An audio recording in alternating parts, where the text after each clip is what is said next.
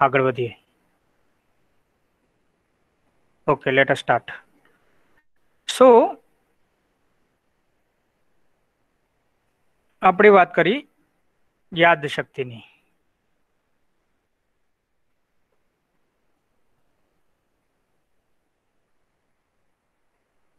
યાદ શક્તિ એટલે શું? યાદ શક્તિના પ્રકાર, એનું મહત્વ અને ફાયદા એની જે પ્રક્રિયા છે, માહિતીની નોંધણી, સંગ્રહ અને માહિતી પાછી યાદ કરવી રજીસ્ટ્રેશન સ્ટોરેજ એન્ડ રિકોલ નોંધણી કઈ રીતે થશે? પાંચ ઇન્દ્રિયોની મદદથી થશે. આપણે આ પણ વાત કરી, ટૂંકા ગાળાની યાદશક્તિ મધ્યમ ગાળાની યાદશક્તિ અને લાંબા ગાળાની યાદશક્તિ તો વિનિંગ મોમેન્ટ હોય અથવા તો બહુ ખરાબ મોમેન્ટ હોય, કોઈની સાથે ઝઘડો થયો હોય, તો એવા જે મોમેન્ટ છે, એ જલ્દી, મતલબ લાંબા સમય સુધી આપણને યાદ રહેતા હોય છે. પરીક્ષામાં જે વાંચવાનું કામ ચાલે છે એક્ઝામ રીડિંગ એ મધ્યમ ગાળાની યાદશક્તિમાં તમે એને કહી શકો. અને ટૂંકા ગાળાની યાદશક્તિ તો, મતલબ ઘણી વખત આપણે જસ્ટ ફોર મતલબ થોડાક સમય માટે કોઈ ટેલિફોન નંબર યાદ રાખી અને કોઈને કહેતા હોઈએ છીએ, તો એ ટૂંકા ગાળાની યાદશક્તિનું એક્ઝામ્પલ છે. તો યાદશક્તિના ત્રણ ભાગમાં તમે વેચી શકો. સમય, સમયગાળાની રીતે જો એને પ્રકારમાં વેચવા હોય, તો ટૂંકા ગાળાની યાદશક્તિ મધ્યમ ગાળાની યાદશક્તિ અને લાંબા ગાળાની યાદશક્તિ આગળ વધીએ. ઓકે. ઇન્દ્રિયોને આધારે જો એના પ્રકાર પાડવા હોય તો ઓડિટરી વિઝ્યુઅલ અને કાયનેસ્થેટિક જેની આપણે આગળ પણ ચર્ચા કરી. સાંભળવાથી યાદ રહેતી યાદ સાંભળવાથી યાદ કરી શકાય. દેખીને બી યાદ છે ઘણી બધી વસ્તુ એવી છે કે આપણે જોતા હોય છે ને એને આપણા મગજમાં યાદ રહી જતી હોય છે. કાયનેસ્થેટિક કાર ગેર છે કે પછી કીબોર્ડ છે સાયકલ ચલાવવી આ બધું કાયનેસ્થેટિકમાં આવશે. ઓકે હા એક જ મિનિટ ચાલુ રાખજો. પછી મળીએ લેક્ચર પતાવી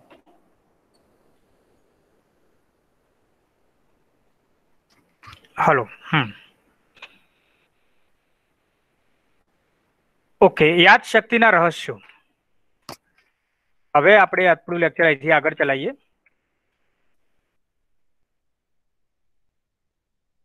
યાદ શક્તિના રહસ્યો. તો યાદ શક્તિના અમુક રહસ્યો છે, જો આપણે જાણીએ તો એનાથી આપણને ઘણો બધો ફાયદો થાય. આપણને કોઈ વસ્તુ યાદ રાખવામાં સરળતા રહે, એના માટે એના કેટલાક રહસ્યો છે. દાખલા તરીકે પહેલું જે એનું રહસ્ય છે, એ છે રસ પડવો ઇન્ટરેસ્ટ આપણે આગળ પણ વાત કરી કે જે વસ્તુમાં આપણને ઇન્ટરેસ્ટ હોય, એને યાદ રાખવા માટે આપણે વધારે પ્રયત્ન કરવો પડતો નથી, એ ઓટોમેટિક યાદ રહે છે. ડિપેન્ડ કરે છે કે તમારો રસ સામમાં છે. ધારો કે સચિન તેંડુલકરને ક્રિકેટમાં રસ છે અને લતા મંગેશકરને સિંગિંગમાં રસ છે.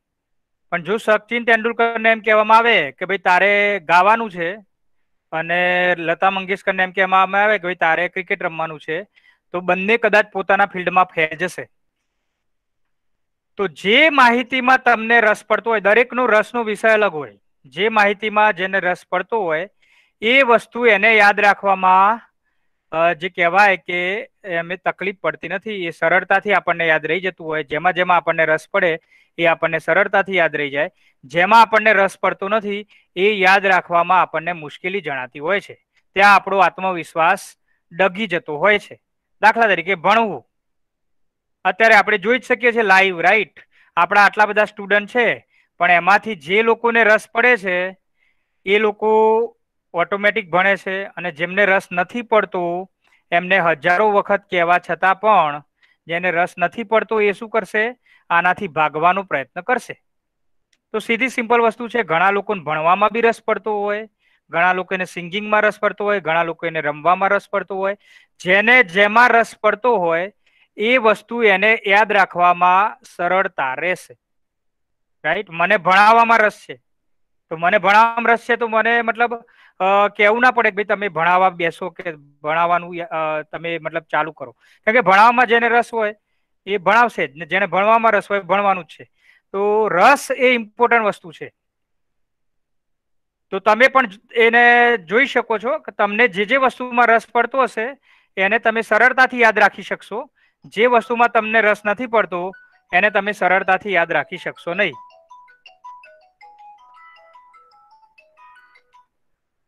તો આ રીતે આપણે આ વસ્તુને સમજી શકીએ છીએ. તો રસ એ બહુ ઇમ્પોર્ટન્ટ વસ્તુ છે.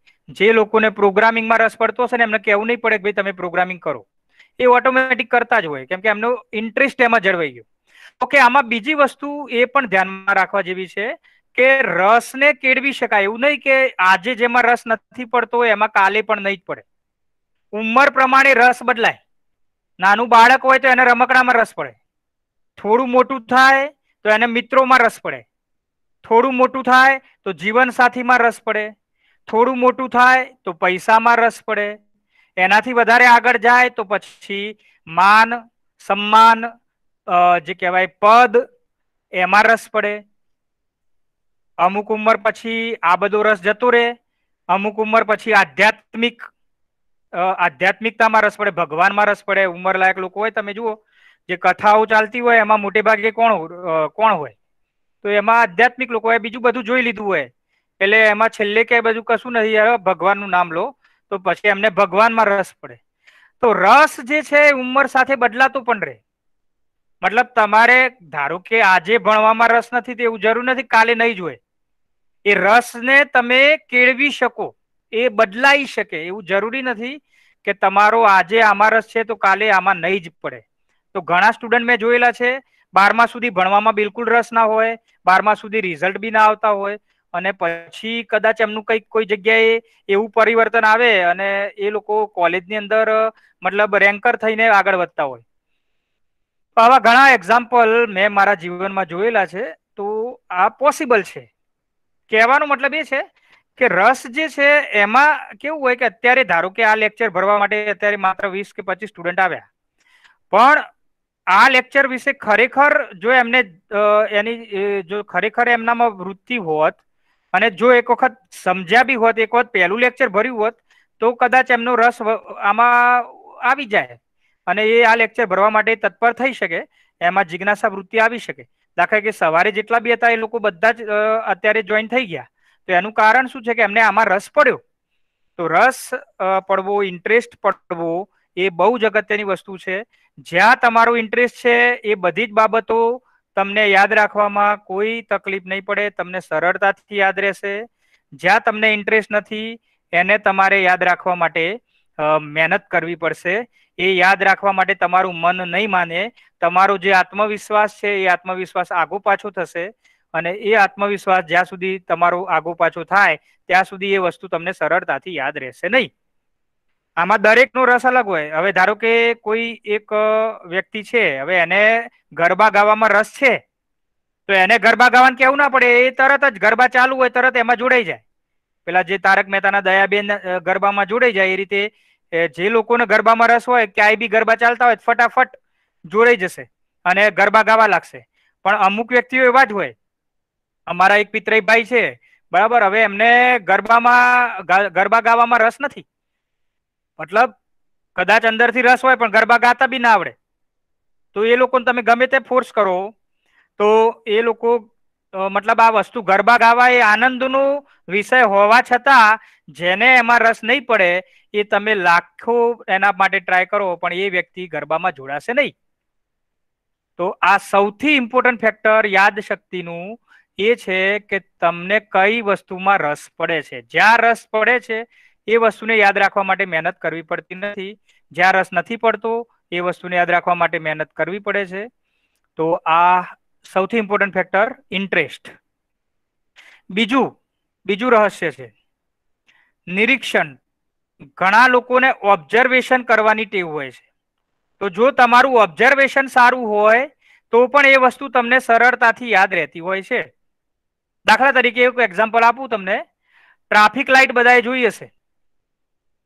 ટ્રાફિક લાઇટ ના, ત્રણ લાઇટો હોય છે, ટ્રાફિકનું સિગ્નલ જે હોય, એમાં ત્રણ લાઇટો હોય છે.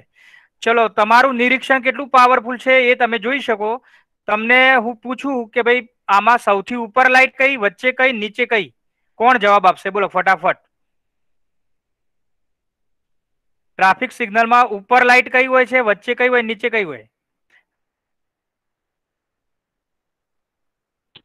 રેડ હોય યલો ગ્રીન હમ પહેલી રેડ પછી ઓરેન્જ અને પછી ગ્રીન. તો આ કોને જવાબ આપ્યો? ઉપર વાળી લાલ હોય વચ્ચે કોને જવાબ આપ્યો ભાઈ પહેલું? યસ. પહેલો જવાબ કોણે આપ્યો? સાચો જવાબ છે. હાલો હા તો જેણે બી આપ્યો he is absolutely right right પહેલું ઉપર રેડ હોય છે, વચ્ચે ઓરેન્જ હોય છે, નીચે ગ્રીન હોય છે. તો આ તમે બધાએ ટ્રાફિક લાઇટ જોઈ હશે, પણ બધાને તરત સ્ટ્રાઇક નહીં થાય. કેમ કે જોઈ છે બધાએ, પણ યાદ માત્ર કોને આવ્યું? કે જેનું ઓબ્ઝર્વેશન સારું છે. જેનું નિરીક્ષણ શક્તિ સારી હશે, જે વ્યક્તિઓ ઓબ્ઝર્વ કરતા હશે, તો એ લોકોને આ જે કહેવાય ને કે ઓબ્ઝર્વેશન તમે મતલબ વર્તમાનમાં જીવો ને, તો આ ઓબ્ઝર્વેશન કરી શકો. ઘણા લોકો શું હોય કે બેઠા હોય પણ મગજમાં કંઈક બીજું ચાલતું હોય. તો વર્તમાનમાં જે લોકો જીવતા હોય, એમને મતલબ ઓબ્ઝર્વેશન પાવર સારો હોય. તમે ઘણી વખત આપણે રોજ સીડી ચડતા હોય, ઉતરતા હોય, પણ આપણને ખબર ના હોય લગભગ કેટલા પગથિયા છે, વીસ છે કે પચીસ છે. ડેઈલી ચડતા હોઈએ. પણ આપણું ઓબ્ઝર્વેશન જ ના હોય કે ભાઈ આ કેટલા પગથિયા છે. તો જે લોકોનું ઓબ્ઝર્વેશન સારું હોય એ લોકો પણ કોઈ વસ્તુને યાદ રાખવામાં એમને મતલબ એ જે કહેવાય કે એ સારી રીતે એ વસ્તુને યાદ રાખી શકશે. તો નિરીક્ષણ પાવર વિકસાવવો જોઈએ તમારે. મતલબ તમે જે કરતા હોય ને એમાં તમારું ધ્યાન હોવું જોઈએ. અત્યારે લેક્ચર ભરો છો તો તમારું ધ્યાન લેક્ચરમાં હોવું જોઈએ. તમારું જે કહેવાય કે બધી જ ઇન્દ્રિયોનું કોન્સન્ટ્રેશન એ આની અંદર હોવું જોઈએ. ધ્યાન તમારું અહીં હોવું જોઈએ. તો તમને વધારે સારી રીતે મતલબ યાદ તમે રાખી શકો. ત્રીજું છે ધ્યાન. કોન્સન્ટ્રેશન કે જ્યારે જે લોકોનું ધ્યાન મતલબ ધ્યાન વધારે રાખતા, ઘણા લોકો શું હોય, બેઠા હોય પણ ધ્યાન કઈ બીજે જ હોય, ચાલતું હોય મગજમાં, બસ સ્ટેન્ડ ચાલતું હોય. એટલે બેઠા હોય પણ ધ્યાન બીજે હોય. તો જે લોકોનું કોન્સન્ટ્રેશન સારું હોય, એ લોકોને પણ યાદ વધારે સારી રીતે રહે. ઓકે, આમાં ધ્યાન જે છે ને, એને તમે વિકસાવી બી શકો. ધ્યાનને કેવી રીતે વિકસાવી શકાય? તો મેડિટેશન કરવું પડે એના માટે. મેડિટેશન કરો તો તમારું કોન્સન્ટ્રેશન પાવર વધે. તમારું ધ્યાનની જે શક્તિ છે એ એમાં વધારો થાય. તો મેડિટેશન યોગ આ બધું કરવાથી પણ આપણું કોન્સન્ટ્રેશન પાવર વધતો હોય છે. જેનાથી આપણને યાદ રાખવામાં જે કહેવાય કે એમાં ફાયદો થતો હોય છે. યાદ શક્તિમાં ફાયદો થતો હોય છે. તો કોન્સન્ટ્રેશન અથવા ધ્યાન એ પણ એક ઇમ્પોર્ટન્ટ ફેક્ટર છે યાદશક્તિના રહસ્યમાં. એના પછી છે જોડાણ. એસોસિએશન. તો આ જોડાણની જે ટેકનિક છે, એ આપણે આગળ જતા ચર્ચા કરીશું. આ એક બહુ ઇમ્પોર્ટન્ટ ટેકનિક છે, જોડાણ. કોઈ વસ્તુને તમે જોડી અને યાદ રાખવાનો ટ્રાય કરશો, તો એ તમને બહુ જ સરળતાથી એ વસ્તુ યાદ રહેશે. તો જોડાણ ટેકનિકનો ઉપયોગ હમણાં થોડાક સમયમાં જ આપણે કરીશું. પછી વિઝ્યુલાઇઝેશન તો આ જે મેં વાત કરી, જે જીતેન્દ્ર અઢિયાજી, એમની એક બુક છે વિઝ્યુલાઇઝેશન મનોચિત્રણ. રાઈટ તો આ વિઝ્યુલાઇઝેશન પણ એક સારી ટેકનિક છે. વિઝ્યુલાઇઝેશન એટલે શું? કે મનમાં ચિત્રો ઊભા કરવા. મનોચિત્રણ કરવું. દ્રશ્યમ ફિલ્મ જોયું હશે બધાએ. તો મનોચિત્રણ રાઈટ મનોચિત્રણ મતલબ મનમાં ચિત્રો. સાહેબ તમને વાર્તા કહેતા હોય પણ એ વાર્તાને તમે મનમાં ચિત્રોના સ્વરૂપમાં એને સમજો. તો એ વસ્તુ તમારા મગજમાં ફિટ થઈ જશે. રાઈટ સાહેબ કોઈ પૃથ્વીરાજ ચૌહાણની વાત કહેતા હોય, ભાઈ પૃથ્વીરાજ ચૌહાણ, એનો આવો મહેલ, એની આવી તલવાર, એ, એના આટલા રાજ દરબારીઓ, એ સિંહાસન ઉપર બેઠો. હવે આખું ચિત્ર તમે તમારા મગજમાં એનું જે કહેવાય કે ચિત્ર ઊભું કરો વિઝ્યુલાઇઝ કરો કોઈ વસ્તુને, તો એ પણ તમને યાદ શક્તિમાં મદદરૂપ થશે. ઓકે તમે આ શબ્દ સાંભળ્યો હશે રિવિઝન રિવિઝન નો શું મતલબ?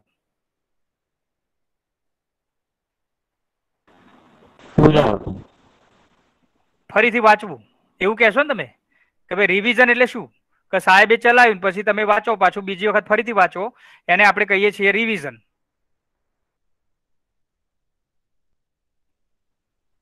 કોઈ જોઈન થવા માંગે છે? હમ. ઓકે આપણે વાત કરતા હતા રિવિઝનની દેખાય છે સ્ક્રીન દેખાય છે બધાને? હવે દેખાય છે screen yes sir yes sir. Okay hmm. તો રિવિઝન એટલે શું? એની સંધિ છૂટી પાડો. રિવિઝન આપણે જે રિવિઝન સમજીએ છીએ ને એકચ્યુઅલી એ જુદું રિવિઝન છે. અને આ જે છે, એ જુદું છે. વિઝ્યુલાઇઝેશન જેને આપણે ફરીથી જોવું. રિવિઝન એટલે તમે કોઈ ટોપિક ધારો કે તમારા ક્લાસરૂમમાં મેડમે કંઈક ભણાવ્યું, બરોબર છે? અથવા સાહેબે કંઈક ભણાવ્યું. તો આપણે રાત્રે સૂતી વખતે જે બી ભણાવ્યું છે ને એને મનમાં યાદ કરો. ભાઈ, પહેલો ટોપિક શું હતો? મેડમે શું વાત કરી? બીજો ટોપિક શું હતો? આજે જાવામાં વાત ચાલુ થઈ. જાવામાં પ્રિન્ટ ટેપ કરવું હોય તો કેવી રીતે થઈ શકે? સી મતલબ system dot print L N right આ રીતે આપણે એને પ્રિન્ટ અપ કરી શકીએ. તો જે બી ચાલ્યું છે અને મનમાં તમે વિઝ્યુલાઇઝ કરો. રી રિમેમ્બરિંગ અને રિવિઝન આ બંનેમાં ફરક છે. તમે જે કરો છો ને એને કહો છો રિવિઝન પણ એ એકચ્યુઅલી રિવિઝન નથી. એ તમે શું કરો ફરીથી વાંચો છો. રી રીડિંગ કરો છો. તમે જે કરો છો એ રિવિઝન ના કહેવાય, એને રી રીડિંગ કહેવાય. રિવિઝન નો મતલબ છે ફરીથી વિઝ્યુલાઇઝ કરવું. મનોચિત્રણ કરવું. મનમાં ચિત્રોથી, મનમાં વિચાર કરવો અને ચિત્રોથી એ વસ્તુને સમજવી. તો આ પણ એક સરસ ટેકનિક છે કે તમે જે કહેવાય કે જે બી વસ્તુ છે એને ફરીથી વિઝન કરો. વિઝન કરવું એટલે એનું ચિત્ર સ્વરૂપે એને જોવાનું ટ્રાય કરો. આજે આપણું યાદશક્તિનું લેક્ચર ચાલ્યું રાઈટ હવે તમે રાત્રે બેઠા હોય શાંતિથી, તો મગજ શાંત રાખીને, ભાઈ, શું ચાલ્યું? સાહેબે શું વાત કરી? એક એક એક એક વસ્તુને મગજમાં વિઝ્યુલાઇઝ કરો. તો એ આખું તમને એક પછી એક ઘટના જે છે, એક પછી એક સ્લાઇડ જે છે, એ મગજમાં આવતી જશે. અને એ આખું વિઝ્યુલાઇઝ થશે અને વિઝ્યુલાઇઝ કરવાથી પણ આપણને ઘણું બધું યાદશક્તિમાં ફાયદો થતો હોય છે.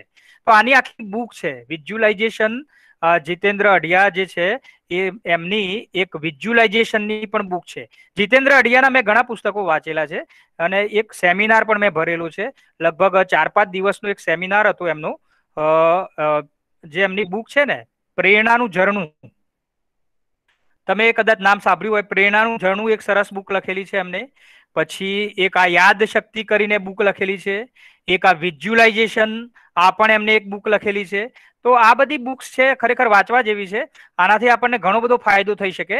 માનસિક રીતે માનસિક રીતે ઘણો બધો ફાયદો થઈ શકે. તો એમના સેમિનાર મેં ભરેલા છે. એમને લગભગ સાહીઠ વર્ષની ઉંમરે તો આ રીતના મોટિવેશનલ લેક્ચર ચાલુ કરેલા. જીતેન્દ્ર અઢિયા ડોક્ટર જીતેન્દ્ર અઢિયા. સાહીઠ વર્ષની ઉંમરે મોટિવેશનલ લેક્ચર આપવાના ચાલુ કરેલા. અને એમને ઘણી બધી બુક્સ લખેલી છે અને એક એક બુક બહુ જોરદાર છે. તો એમાંની પ્રેરણાનું ઝરણું યાદશક્તિ જે આપણે અત્યારે ચર્ચા કરી રહ્યા છીએ યાદશક્તિ અને આ વિઝ્યુલાઇઝેશન આ પણ એક બુક એમને લખેલી છે. એ બુક પણ મેં વાંચેલી છે. તો વિઝ્યુલાઇઝેશન કઈ રીતે કરવું ને એની ટેકનિક આખી આખી બુકમાં સમજાવેલી છે. રાઈટ કદાચ તમે વિરાટ કોહલીને એકાદ બે વખત સાંભળ્યું હોય ને તો એને આ વિઝ્યુલાઇઝેશન ટેકનિક ઉપર ચર્ચા કરેલી. કોઈને ખબર છે આ બાબતમાં? યસ વિરાટ કોહલીની કોઈ વખત સાંભળ્યું છે? વિઝ્યુલાઇઝેશન ઉપર વાત કરતો. યસ એનીબડી નો હા તો એક વખત મેં વિરાટ કોહલીનું ઇન્ટરવ્યુ જોયેલું તો એને આના ઉપર થોડીક વાત કરી કે જે શોર્ટ હોય છે ને, જે મતલબ રમવાનો શોર્ટ હોય છે એને એ વિઝ્યુલાઇઝ કરતો હોય છે. મતલબ ક્યાં ભૂલ થઈ, ક્યાં સુધારી શકાય? તો એ વિઝ્યુલાઇઝેશનની ટેકનિકનો ઉપયોગ વિરાટ કોહલી પણ કરતો હોય છે એવું એને એક વખત એના પોતાના ઇન્ટરવ્યુમાં બતાવેલું કે એ વિઝ્યુલાઇઝ કરે છે. રાઈટ તો એનાથી એને ઘણો બધો ફાયદો થાય છે. આપણે જાણીએ છીએ અત્યારે મતલબ, જે વિરાટ કોહલી છે, એ one of the best batsman of the world છે.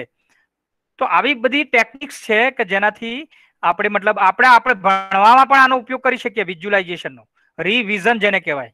ઓકે, પુનરાવર્તન. આ પણ એક રહસ્ય છે. પુનરાવર્તન, યાદશક્તિનું અગત્યનું રહસ્ય છે. પુનરાવર્તન એટલે તમને હું કહું કે પાંચમાં, પાંચ બોલો. કોને આવડે છે? પાંચનો ઘડિયો. કોઈને નથી આવડતું? યસ એનીબડી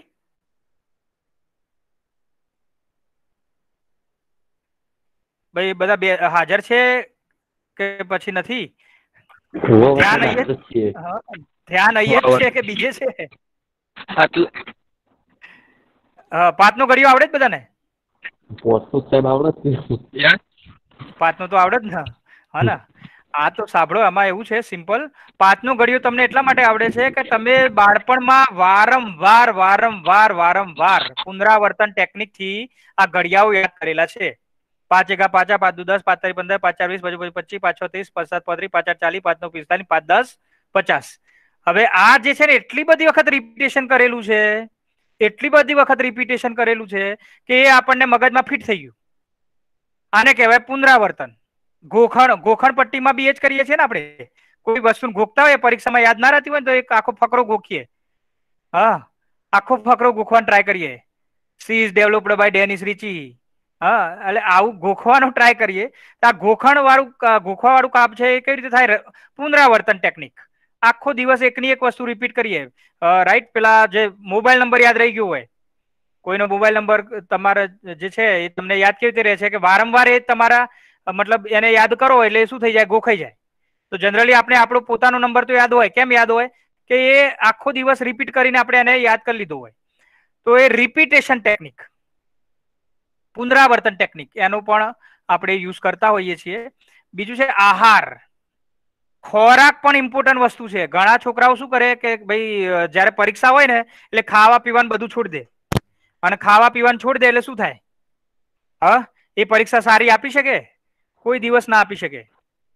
તો ખાવા પીવા આહાર જે છે, એ પણ પ્રોપર લેવો પડે. ભૂખ્યા પેટે ભજન ના થાય. ભૂખ્યા પેટે ભજન ના થાય. તો આપણા મગજનો જે ખોરાક છે, એને માઇન્ડને બી શક્તિ જોઈએ. શરીરને શક્તિ જોઈએ. અને એ શક્તિ આપણને શામાંથી મળે? આહારમાંથી મળે. તો જો તમે આહાર પ્રોપર ના લો પરીક્ષા આપો ને, તો તમે સારું લખાણ ના લખી શકો. ઓકે જનરલી આપણે પરીક્ષા આપવા જતા હોય તો આપણને ઘેરથી મમ્મી શું ખવડાવે? પેલું દહીં અને શક્કર. દહીં, શક્કર આપીને મોઢું ગળ્યું કરાવતા હોય. રાઈટ લીંબુ શરબત, આ પણ એક બહુ સરસ મતલબ તાત્કાલિક જો તમારે એનર્જી મેળવવી હોય તો લીંબુ શરબતથી મેળવી શકાય. તો તમે મતલબ લીંબુ શરબત પી લો તો માઇન્ડમાં જે છે સુગર સુગરને કારણે એક જે કહેવાય કે જે માઇન્ડ જે તમારું એકદમ ફ્રેશ થઈ જશે. અને તમે મતલબ કોઈ પણ વાંચશો તો એ વધારે સારી રીતે આપણને યાદ રહેશે. તો આહાર ડાયટ પણ ઇમ્પોર્ટન્ટ છે. ઘણી વખતે આપણે મતલબ ખાવા પીવાનું છોડીને પરીક્ષામાં જો ટ્રાય કરતા હોઈએ તો એ તમે એમાં સફળ થઈ શકો નહીં. રિલેક્સેશન રિલેક્સેશન આ બધી જે વાતો છે ને એ થોડીક જે કહેવાય કે રિલેક્સેશન મતલબ ધ્યાનમાં બેસવું. તમે રિલેક્સ થઈ અને પાંચ મિનિટ મેડિટેશન કરો. તો એ મેડિટેશન કરવાથી પણ આપણને ઘણો બધો ફાયદો થતો હોય છે. કારણ કે રિલેક્સ કરવાથી આપણું જે માઇન્ડ છે, એ શું થતું હોય છે? એકદમ ફ્રેશ થતું હોય છે. એકચ્યુઅલી તમને કહું, મગજ જે છે ને, એની ત્રણ અવસ્થાઓ છે. ત્રણ અવસ્થાઓ. એક છે અજાગ્રત મન, બીજું છે અર્ધ જાગ્રત મન, અને ત્રીજું છે જાગ્રત મન.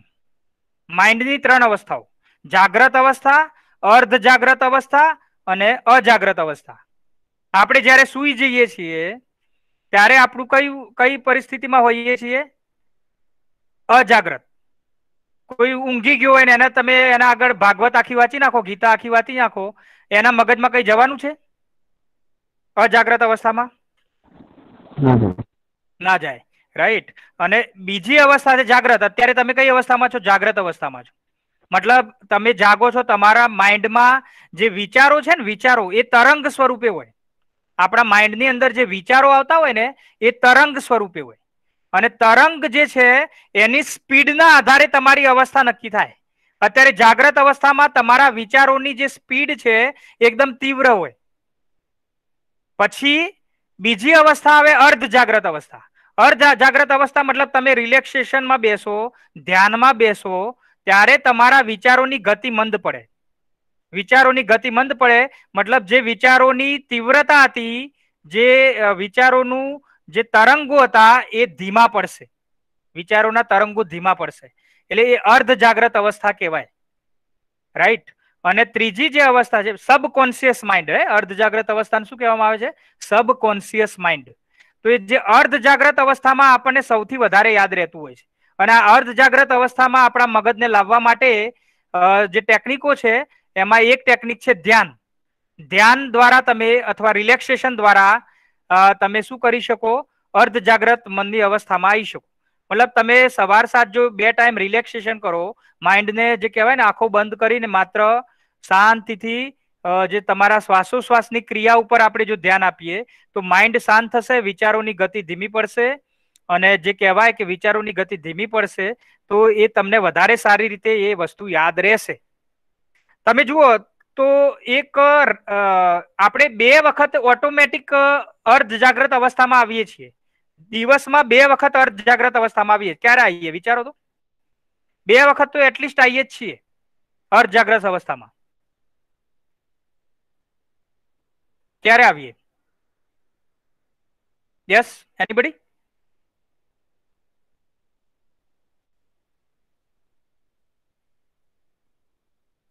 ચલો, મને લાગે કોઈ જવાબ નહીં આપે, હું જ આપી દઉં. એક તો જ્યારે આપણે રાત્રે સુવા જઈએ સુવા જઈએ એટલે શું થાય? કે પહેલા જાગ્રત અવસ્થામાં આવીશું, ઊંઘી જઈશું એટલે અર્ધ જાગ્રત અવસ્થામાં હશું પણ જાગવાની ને ઊંઘવાની વચ્ચેની જે સ્થિતિ છે, એ મતલબ એક વખત અર્ધજાગ્રત અવસ્થામાં તો એટલીસ્ટ આવી અને પછી તમે અજાગ્રત અવસ્થામાં જશો. ઓકે, બીજી વખત ક્યારે અર્ધજાગ્રત અવસ્થામાં આવશો?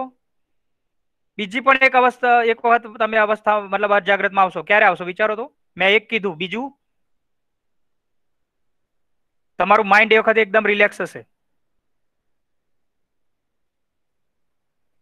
એક તો ઊંઘવા જઈએ ત્યારે મેં કીધું. ઊંઘો એટલે જાગ્રતમાંથી અજાગ્રતમાં જાઓ, એના વચ્ચે એક અવસ્થા એવી આવશે અર્ધ જાગ્રત અને બીજું ક્યારે આવશો? યસ જવાબ આપો તમે. આપી શકો. જેવો આવડે એવો. યસ એનીબડી સવારે ઉઠીએ ત્યારે? ખોટું સાચું? સવારે ઉઠવા એટલે શું થાય? તમે અર્ધ જાગ્રત અવસ્થામાં હશો, અજાગ્રત અવસ્થામાં હશો અને જાગશો એટલે જાગ્રત અવસ્થામાં આવશો. પણ વચ્ચે જાગવાની ઊંઘવાની વચ્ચે એક વખત અજાગ્રત અવસ્થામાં પણ આવશો. રાઈટ તો કદાચ જે કે છે ને કે ભાઈ સવારના સપના સાચા પડે આ કહેવત કદાચ આના ઉપરથી પણ પડી હોય. કે સવારની જે અવસ્થા છે, સવારના સપના સાચા પડે, એ કહેવત જે છે, એ કદાચ આ અવસ્થાના કારણે પડી હોઈ શકે. કેમ કે સવારના સપના જે છે, એમાં શું હોય છે કે આપણે અજાગ્રતમાંથી જાગ્રતમાં આવીએ ત્યારે વચ્ચે જે અજાગ્રત સ્થિતિ આવે, એટલે મે બી એ વખતે જે આપણને માઇન્ડમાં વિઝ્યુલાઇઝેશન થયું હોય એ વિઝ્યુલાઇઝેશન સાચી પડવાની શક્યતાઓ વધતી હોય. આ બધું મારું અનુમાન છે. આ સાચું છે એવું માનવાની જરૂર નથી. પણ આ એક મારું અનુમાન છે. આવી કહેવત ચાલતી હોય છે ભાઈ સવારના સપના સાચા પડે. રાઈટ આ હું સાચું જ બોલું છું એવું કઈ છે નહીં. આ એક મારું અનુમાન છે. તો જનરલી તમારો જે વાંચવાનો સમય છે ને એ કયો હોવો જોઈએ? તો એ તમારો વાંચવાનો સમય એ રાત્રે તમે વાંચો તો કદાચ વધારે સારી રીતે યાદ રહે. કેમ કે રાત્રે શું હોય? કે તમારું જે મન છે એ શાંત હશે વિચારો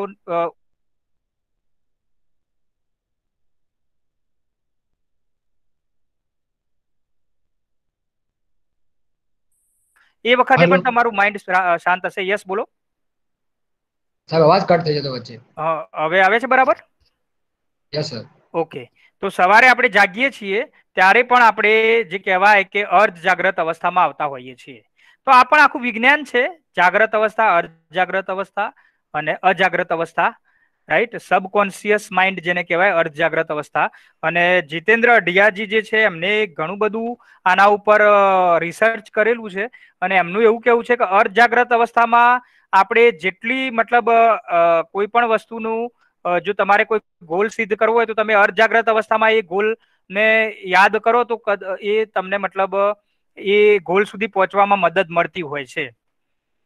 આ જીતેન્દ્ર અઢિયાનું કેવું છે. મારું કેવું નથી. કેમ કે જ્યાં સુધી જેનું પ્રમાણ ના મળે એને સ્વીકારવું કદાચ મારા માટે શક્ય નથી. પણ આ એમનું રિસર્ચ છે. રાઈટ એને હું માનું છું એવું નથી. રાઈટ કેમ કે હજી સુધી મને એનું ટોટલ પ્રમાણ પરફેક્ટ પ્રમાણ મળ્યું નથી. પણ મદદરૂપ થાય છે, સો ટકા. રાઈટ પછી બીજું છે યાદ શક્તિની ટેકનિક્સ તો ઘણી બધી મેમરી ટેકનિક્સ છે, જેનાથી આપણે યાદ શક્તિને વિકસાવી શકીએ છીએ. એ આપણે આગળ જતા બધી ટેકનિક શીખવાની છે. આ ઘણી બધી ટેકનિક છે, જેના વિશે આપણે ચર્ચા કરીશું. યાદ શક્તિની ટેકનિક્સ વિશે ચર્ચા કરીશું. સમજણ અન્ડરસ્ટેન્ડિંગ સૌથી ઇમ્પોર્ટન્ટ કોઈ પણ વસ્તુને જો સમજીને આપણે તૈયાર કરીએ ને તો યાદ રહેશે. જો સમજ્યા વગર કોઈ વસ્તુને તૈયાર કરવા જશો તો એ આપણને યાદ રહેતું નથી. તો સમજી અને તૈયાર કરવું એ તમને મતલબ એમાં ગોખવાની જરૂર નથી. કોઈ ટોપિકને સમજો. સમજશો તો ઓટોમેટિક યાદ રહી જશે. તો સમજવાનું અન્ડરસ્ટેન્ડિંગ જેનો અન્ડરસ્ટેન્ડિંગ પાવર સારો છે, જે સમજી શકે છે. તો કોઈ વસ્તુને સમજવી હોય ને તો એને ઉપરથી નીચે સુધી બધી જ વસ્તુના એના પાસાઓનો વિચાર કરવો પડે. અને દરેક પાસાનો તમે વિચાર કરો તો એ તમે કહેવાય કે એ વસ્તુને બહુ સરળતાથી સમજી શકશો. જ્યાં સુધી તમે એના દરેક પાસાનો વિચાર નહીં કરો, ત્યાં સુધી તમને એ વસ્તુમાં સમજણ પડશે નહીં.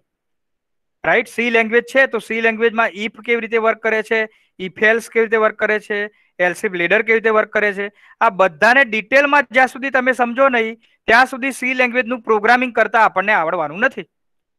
તો સમજવું એ પણ એક ઇમ્પોર્ટન્ટ વસ્તુ છે. ગોખવા કરતા સમજણથી તમે વધારે સારા માર્ક્સ લાવી શકો. એક વાત સમજેલા હોય તો લખવાની રીત કોઈ પણ હોઈ શકે. લખવાનું તમે કોઈ પણ રીતે લખી શકો, પણ સમજેલા હોય તો પછી એને લખવામાં સરળતા રહેશે. એમાં પર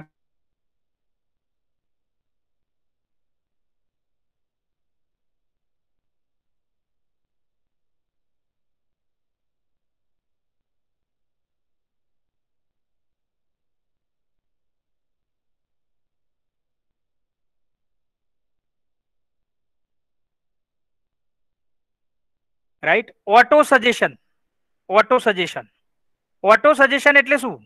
કે તમે તમારી જાતને કહો કે ભાઈ મારે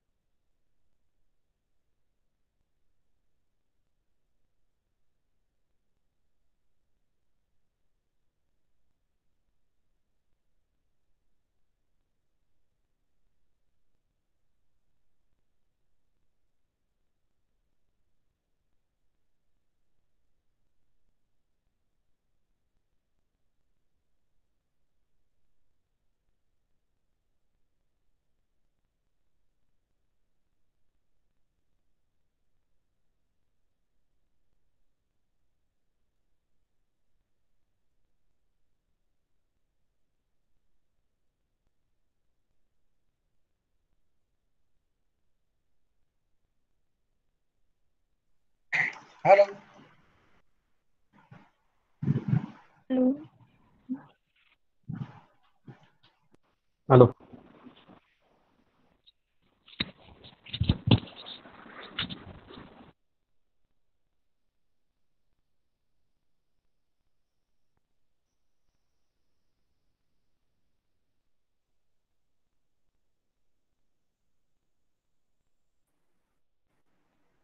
આઈ હલો. મારું લેપ થઈ ગયેલું બધાને? વચ્ચે મારું? હલો. ઓ સાહેબ. હા યસ સર. કેટલી વાર? હમણાં જ થયું કે આગળ થયું? હમણાં હમણાં હાલ જ. હમણાં જ થયું. ઓકે તો બરાબર. મને એટલે અવાજ આવ્યો એટલે મેં પાછળ ચેક કર્યું એટલે મને લાગ્યું કે લેપ થઈ ગયું લાગે છે.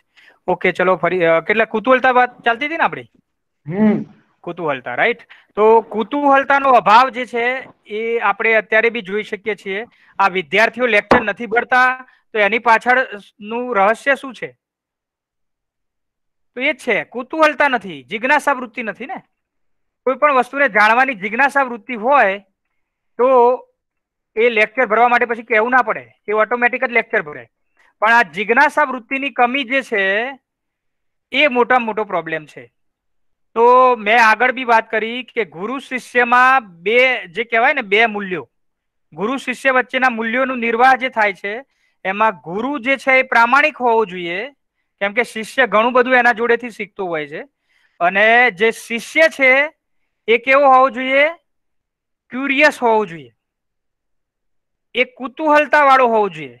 જો શિષ્યમાં કુતૂહલતા ના હોય, ક્યુરિયોસિટી ના હોય જિજ્ઞાસા વૃત્તિ ના હોય, તો એ કોઈ દિવસ કશું શીખી ના શકે.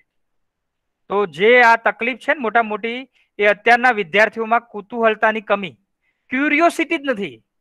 આપણને ક્યુરિયોસિટી જ નથી કે ભાઈ ઇફ કે ઇફ કન્ડિશન કેવી રીતે કામ કરે? જાણવાની ક્યુરિયોસિટી હોય તો તરત આવડી જાય. તમે ગમે ત્યાંથી શીખી લેશો. સાહેબ નહીં શીખવ નહીં શીખવે તો તમે યુટ્યુબ ઉપર બી શોધી લેશો. ફોર લૂપ કેવી રીતે કામ કરે? તો એ જો તમારામાં કુતૂહલતા હશે તો તમે ઓટોમેટિક શીખી જ લેશો. જ્યાં જ્યાં જે જે વ્યક્તિની કુતૂહલતા હોય ને, એને એ ઓટોમેટિક શીખી જ લે. રાઈટ તમને મોબાઈલમાં કેમ બધા ફીચર આવડે છે? મોબાઈલમાં ગમે તેવા ફીચર્સ હોય તો આપણને આવડે છે. કેમ આવડે છે? યસ એનીબડી જાણવાની તીવ્ર ઈચ્છા હોય. હા ત્યાં કુત- કુતૂહલતા છે આપણી કે ભાઈ આ કેવી રીતે થતું હશે? જેન્ડરથી એક ફાઇલ બીજી ફાઇલ કેવી રીતે પેલા મિત્રને ટ્રાન્સફર કરવી? તો એ એમાં કુતૂહલતા છે આપણી રાઈટ આઈપીએલની મેચમાં કુતૂહલતા છે કોણ જીતશે? આ પેલો ધોની જીતશે કે પછી વિરાટ કોહલી જીતશે? તો એમાં આપણી ક્યુરિયોસિટી છે. તો જ્યાં જ્યાં ક્યુરિયોસિટી છે, એ વસ્તુ ઓટોમેટિક આપણને મતલબ એના તરફ રસ ઓટોમેટિક કેળવાય છે. અને જ્યાં રસ કેળવાય છે, એમાં યાદશક્તિ ઓટોમેટિક આપણી કામ કરે છે. પણ જ્યાં દાખલા કે ભણવું, તો એમાં આપણી ક્યુરિયોસિટી નથી.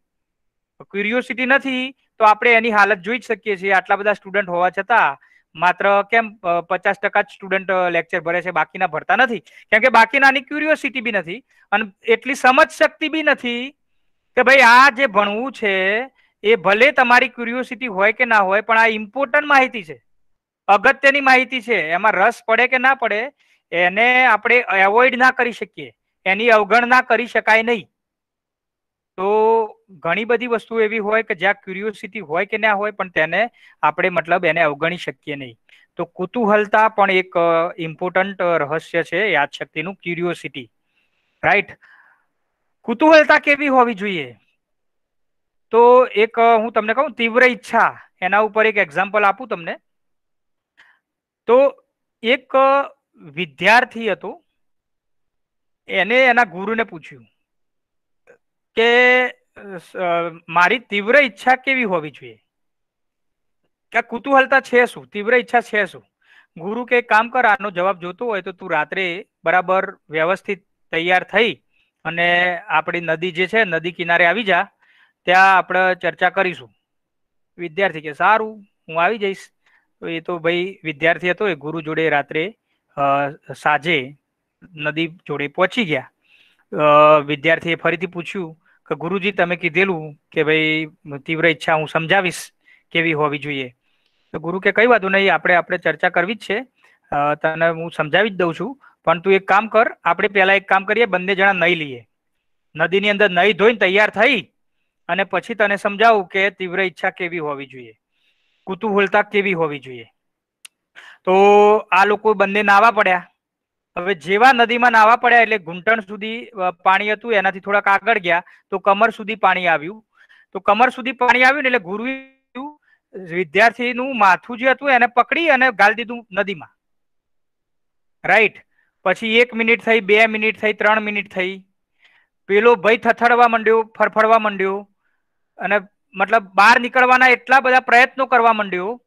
પછી એને લાગ્યું ગુરુજીને કે ભાઈ હવે રહીએ કેમ નહીં? એટલે ભટ દઈને મોથું ખેંચીને બહાર કાઢ્યો. બરાબર? પછી પેલું તો હક્કો બક્કો થઈ ગયો કે ગુરુજી શું કરો છો કે તમને તો મગજ જેવું છે કે નહીં? એટલે કે ચિંતા ના કરે. આ જે મેં કર્યું ને બધું બરાબર કર્યું છે. હવે કે બહાર આવી જા, ચલ. પછી બંને બહાર ગયા. પછી ગુરુજીએ પ્રશ્ન પૂછ્યો. શું પ્રશ્ન પૂછ્યો? કે ભાઈ તને જ્યારે મેં અંદર ડુબાડ્યો પાણીની અંદર. ત્યારે સૌથી વધારે જરૂર તરસાની પડી? શું જવાબ હશે શિષ્યનો? Oxygen sir. શાની જરૂર પડશે? ઓક્સિજનની. ઓક્સિજન કીધું ને? Yes sir. ઓક્સિજનની. એટલે કે હવા. એને એ વખતે સૌથી વધારે જરૂરિયાત શાની હતી? હવાની. એટલે એને કીધું કે એ વખતે મારી જે જરૂરિયાત છે, મારી જે તીવ્ર ઈચ્છા હતી એ શાની હતી કે મને ગમે ત્યાંથી હવા મળી જાય, ઓક્સિજન મળી જાય. તો આ જે તીવ્ર ઈચ્છા હતી ને એની, આટલી તીવ્ર ઈચ્છા તમારી કોઈ પણ વસ્તુમાં હોય, જે તીવ્ર ઈચ્છા એની એ વખતે હવા મેળવવામાં હતી, એવી તીવ્ર ઈચ્છા તમારી જો ભણવામાં જાગી જાય ને તો તમને કોઈ રોકી ના શકે. એ તીવ્ર ઈચ્છા તમારી પૈસા કમાવામાં લાગી જાય તો બી તમને પૈસા કમાતા કોઈ રોકી ના શકે. એવી જ તીવ્ર ઈચ્છા કોઈ વસ્તુને જાણવામાં લાગી જાય તો એ વસ્તુ કરતા તમને કોઈ રોકી શકે નહીં. પણ આ જો તીવ્ર ઈચ્છા જે વખતે એ વિદ્યાર્થીની હતી એટલી તીવ્ર ઈચ્છા તમારી હોય તો તમે કોઈ પણ વસ્તુ પામી શકો. પણ એક તીવ્ર ઈચ્છાનું લેવલ હોવું જોઈએ, કુતૂહલતાનું લેવલ હોવું જોઈએ. ત્યારે તમે એ ત્યાં સુધી પહોંચી શકો. મતલબ જ્યાં આપણી કુતૂહલતા છે, ત્યાં તમે બાળકોમાં જુઓ ક્યુરિયોસિટી બહુ હોય બાળકમાં. નાનું બાળક હોય ને, એનામાં ક્યુરિયોસિટી બહુ હોય. એકચ્યુઅલી નાનું બાળક હોય, એમાં ત્રણ ગુણ હોય. કયા કયા ત્રણ ગુણ? એમાં ક્યુરિયોસિટી બહુ હોય. કંઈકનું કંઈક જાણવાની ઈચ્છા હોય, કંઈક ના કંઈક પ્રશ્નો પૂછ્યા કરે. આ કેવી રીતે થાય છે, આ કેવી રીતે થાય છે? હા રાઈટ એટલે એનામાં તીવ્ર ઈચ્છા બહુ હોય, કઈ પણ વસ્તુ જાણવાની. તો બાળકમાં કુતૂહલતા હોય છે. બીજું શું હોય? નાનું બાળક સત્ય વક્તા હોય. મતલબ હંમેશા સાચું બોલતું હોય. એને તમે જલ્દી મતલબ કોઈ પણ વસ્તુ હોય ને એના મમ્મી પપ્પા કંઈક વાત કરતા હોય, પડોશી વિશે પડોશી આગળ જઈને કહી દે કે, મમ્મી પપ્પા આવી વાત કરતા હતા. એટલે પેલો પડોશી કે મારી વિશે આવી વાત કરતા હતા? તો કે, હા, આવી વાત કરતા હતા. એટલે એને એવી ખબર ના પડે કે ક્યાં કઈ વસ્તુ બોલાય કે ના બોલાય. એ તો સત્ય વક્તા છે. તો એનામાં કુતૂહલ વૃત્તિ હોય સત્ય વક્તા હોય અને ન્યાયનો ચાહક હોય. એને હંમેશા ન્યાય, મતલબ તમે એની સાથે ન્યાય કરો, એની એનો ચાહક, ચાહત હોય. મતલબ તમે કોઈ વસ્તુ કીધી કે હું તમને મેળામાં લઈ જઈશ અને તમે જો એને મેળામાં ના લઈ ગયા, તો એ એને સાથે અન્યાય થઈ ગયો. એની જે ન્યાયની જે ભાવના હતી એ તૂટી ગઈ અને એ ન્યાયની ભાવના ગઈ, તો આવું પછી શું થાય? નાનું બાળક જેમ જેમ મોટું થાય ને એમ પછી એના આ જે ત્રણ, જે ગુણ ભગવાને આપ્યા હતા એ ત્રણ ગુણમાં પછી પ્રોબ્લેમ તો ચાલુ થાય, જેમ જેમ મોટું થતું જાય, એમ એના બધા, આ જે બધા, જે મેન ત્રણ ગુણ હતા, સત્યવક્તાનો ગુણ, પછી કુતૂહલતાનો ગુણ અને ન્યાયની ચાહતનો ગુણ. હવે એ એવા એવા અનુભવમાંથી પસાર થતો જાય, જ્યાં જ્યાં ન્યાય મળવો, મળવાનો હોય ત્યાં ન્યાય મળે નહીં. એનું ન્યાયની ચાહત, એના મમ્મી પપ્પા જોડે ન્યાયની ચાહત હોય, એના મિત્રો જોડે જે ન્યાયની અપેક્ષા હોય, એના સાહેબો જોડે, ગુરુ જોડે જે ન્યાયની અપેક્ષા હોય, એમાં એ પછી પૂરું પડે નહીં. એટલે પછી એ એવું થઈ જાય કે પછી તમે જુઓ, અત્યારે મતલબ દસમા સુધી બારમા સુધી પછી અત્યારે તમે જુઓ, તો અત્યારે જે કોલેજના વિદ્યાર્થીઓ છે, એમાં ત્રણમાંથી કેટલા ગુણ જોવા મળે અને કેટલામાં જોવા મળે? તમે સમજી શકો વસ્તુ? હું શું કહેવા માંગુ છું? તો એના ભૂકે ભૂકા નીકળી જાય. મતલબ કોલેજ સુધી આવતા આવતા એ એવા વાતાવરણમાંથી પસાર થાય કે ન્યાયની તો વાત છોડો. કેમ કે જ્યાં ત્યાં ડગલે પગલે એને અન્યાય થયો હોય ક્યાંક ને ક્યાંક. રાઈટ માતા પિતા તરફથી, એના ગુરુઓ તરફથી કે એના મિત્રો તરફથી કેટલીય વખત એમનું જે કહેવાય કે જ્યાં જ્યાં એની ન્યાયની અપેક્ષા હોય, એ અપેક્ષા પૂરી થઈ ના હોય. એવી જ રીતે અત્યારે કોલેજના વિદ્યાર્થીઓ કેટલા એવા છે કે જે સાચું બોલતા હોય? જે બાળપણમાં બોલતા હતા એ અત્યારે તમે જુઓ કે કોલેજ સુધી આવતા આવતા કેટલા લોકો એવા છે કે જે સાચું બોલતા હોય ને મતલબ સત્યની સાથે હોય? કેટલા હોય છે? ભટ દઈને ખોટું બોલે. એકદમ મતલબ એક સમયનો વિચાર આંખોમાં આંખો નાખીને ખોટું બોલતા હોય. હા? તમે પૂછો "લા, કેમ લેટ થયો? સાહેબ બસ મોડી આવી બસમાં ભીડ હતી. આમ હતું. તેમ તરત જવાબ. બાઇકમાં પંચર પડી ગયું. અને એકદમ જૂઠું બોલતા, આપણે પંદર વર્ષનો અનુભવ, કોણ સાચું બોલે, કોણ ખોટું બોલે, તરત ખબર પડે.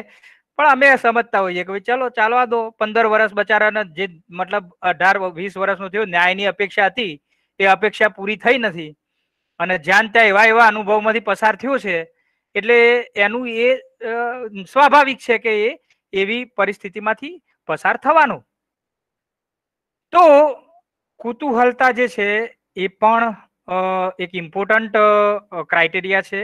જ્યાં જ્યાં તમારી કુતૂહલતા જળવાઈ રહેશે, ત્યાં એ વસ્તુને તમે મતલબ જાણવાનો પ્રયત્ન કરશો અને જે વસ્તુને આપણે જાણવાનો પ્રયત્ન કરીશું, એમાં તમારો રસ પડવો નિશ્ચિત છે અને જે વસ્તુમાં રસ પડવો નિશ્ચિત છે, એ વસ્તુ યાદ રાખવી બહુ ઇઝી છે.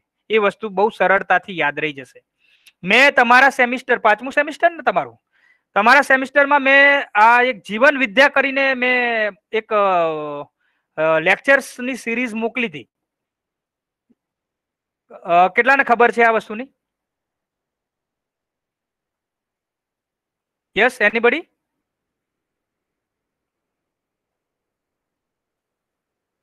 એ તો ખબર છે કે મેં મોકલી હતી.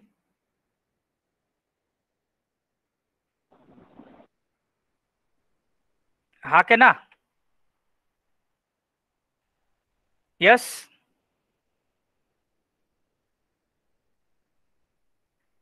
તો આઈ થિંક જે જીવન વિદ્યાનું આખું લેક્ચર સિરીઝ મેં મોકલેલું, તમારું જે કહેવાય ને કે આપણો એક સિલેબસ પણ છે જે હ્યુમન વેલ્યુઝ વાળું આપણું જે ચાલે છે.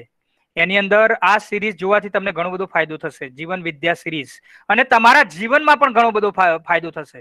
આ જ્યાં જ્યાં તમને મતલબ આ તમારી જે ન્યાયની અપેક્ષા હોય છે અને વારંવાર તમારું જે મતલબ સમાજની અંદર આપણી આજુબાજુના વાતાવરણમાં આપણને જે અનુભવો થતા હોય છે, એ અનુભવોથી આપણું જે આત્મવિશ્વાસ જે તૂટી ગયો છે, એ આત્મવિશ્વાસ પાછો મેળવવામાં પણ આ જીવન વિદ્યા શિબિર બહુ મોટું અગત્યનું કામ કરશે.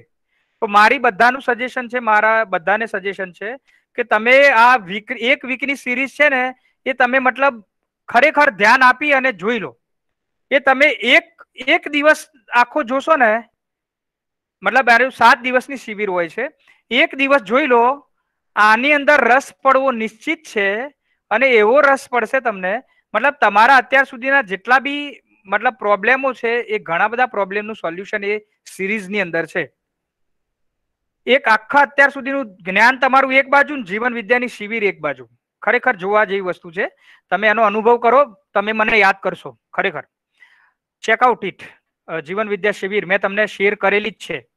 કોઈએ જોઈ કે નહીં? કોઈએ ટ્રાય કર્યું? એનીબડી યસ નો સર ખબર જ નહીં મને તો પહેલા તો. અરે યાર મેં આગળ એક વાર લેક્ચર લીધું હતું એમાં આ વાત કરેલી. ફરી મોકલી દેજો ને તમે. ફરીથી તમારા ગ્રુપમાં મોકલી દઈશ વાંધો નહીં. તમારા ગ્રુપમાં પડી બી હશે. અને ફરીથી મોકલી દઈશ વાંધો નહીં. આ જીવન વિદ્યા શિબિર ખરેખર જે કહેવાય ને મેં અત્યાર સુધીમાં યુટ્યુબમાં જેટલું બી જોયું છે ને એ બધું એક બાજુ અને આ જીવન વિદ્યા શિબિર એક બાજુ. ઇટ્સ રિયલી ઇન્ટરેસ્ટિંગ તમારું આખું મતલબ જે કહેવાય ને કે માણસ શું છે ને માણસનું સંબંધો માણસ આને મતલબ એક એક એક એક વસ્તુને એટલી બારીકાઈથી વર્ણન છે કે તમે મતલબ એનો અનુભવ કરશો તો એ એ અનુભવથી જ વસ્તુ તમે મતલબ સમજી શકશો. એના વગર નહીં થાય. એ સિરીઝ જોઈ નાખો બધા ખરેખર. ઇટ્સ વેરી ઇમ્પોર્ટન્ટ ઓકે હવે આગળ વાત કરીએ. અજોડ બાબતો યુનિકનેસ યુનિકનેસ જે છે અજોડ બાબતો. તો જે વસ્તુઓ યુનિક હોય દાખલા કે તાજમહેલ. તો એ ઓટોમેટિક આપણને યાદ રહે. યુનિક બાબતો ઓટોમેટિક યાદ રહે. તાજમહેલ છે ઐશ્વર્યા રાય છે દીપિકા પદુકોણ છે. યુનિક તો આ બધા ઓટોમેટિક યાદ રહે. સચિન તેંડુલકર છે રાઈટ તો યુનિક જે વસ્તુઓ હોય તમે તમે જુઓ એક વસ્તુ મને તમને કહું. તમે સર્કસ જોયું હશે? સર્કસ બધાએ જોયું છે સર્કસ હા સર તો સર્કસમાં શું યાદ હોય? અત્યાર સુધી આપણને યાદ શું સર્કસ સર્કસમાં કોઈ વસ્તુ યાદ રહી હોય તો કયું કોણ રહે? જોકર. હા જોકર આપણને યાદ રહે. કારણ કે જોકર યુનિક છે. સર્કસનો જોકર જે છે એ યુનિક હોય. તો અજોડ બાબતો હોય જે યુનિક બાબતો હોય તો એવી બાબતો આપણને ઓટોમેટિક યાદ રહેતી હોય છે. અજોડ બાબતો. એ ઓટોમેટિક યાદ રહેતી હોય છે. તો આઈ થિંક કલાક થયો. શું કરશો? આગળ ચાલુ રાખવું કે પછી નેક્સ્ટ ટાઈમ ના ના ચાલુ રાખો સર ચાલુ રાખું? ઓકે. બધાનું એ જ મંતવ્ય છે ને? થાકે ના હોય તો ચાલુ રાખું. મને તો કોઈ દિવસ થાક લાગતો નથી કારણ કે હું મારું આખું અલગ છે. ભણાવવું એ મારું પેશન છે. એટલે મને કોઈ થાક નહીં લાગે. પણ તમારા લોકોનું ક્યુરિયોસિટી જ્યાં તૂટી જાય તેવા પછી તમે થાકી જવાના. આજે તમને ઘણું બધું સમજાઈ ગયું હશે કે ક્યાં ક્યાં શું શું પ્રોબ્લેમ થાય છે એનો થોડો ઘણું અંશમાં આઈડિયા આવી ગયો હશે આજના લેક્ચર ઉપરથી કે આપણી સાથે જે થતું હોય છે ક્લિયર છે? ચાલુ રાખીએ આપણે? અધન પૂછજો સાહેબ હા? અમાર મારે તો કહો. હા બધાને આમ તો ચાલુ રાખીએ થોડુંક લગભગ દસ પંદર મિનિટ ચલો વધારે નહીં. પંદર વીસ અડધો મિનિટ. અડધો કલાક અડધો- કલાક સુધી વાંધો નહીં આવે.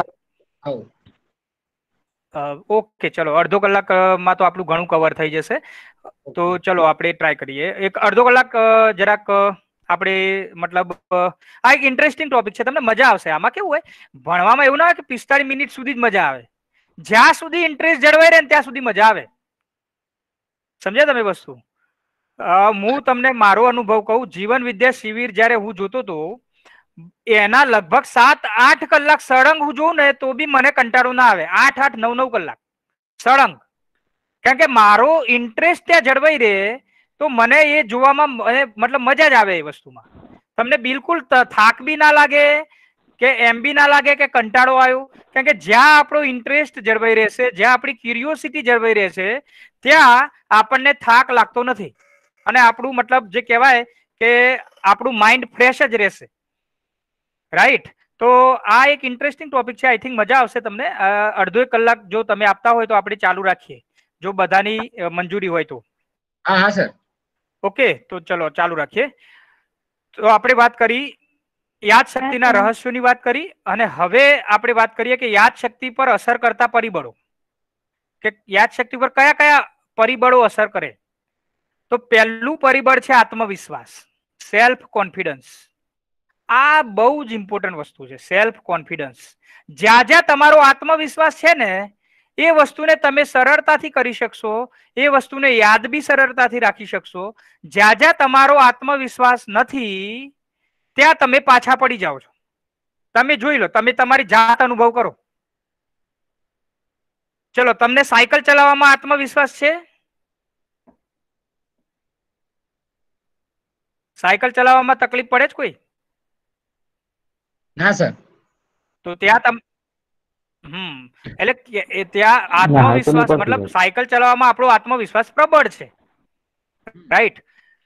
જ્યાં જ્યાં તમારો આત્મવિશ્વાસ પૂરો પડશે ને ત્યાં તમને કોઈ તબલી- તકલીફ નથી. ચલો હું તમને સુખ ને દુઃખની વ્યાખ્યા આપી દઉં. સુખ ને દુઃખ છે શું?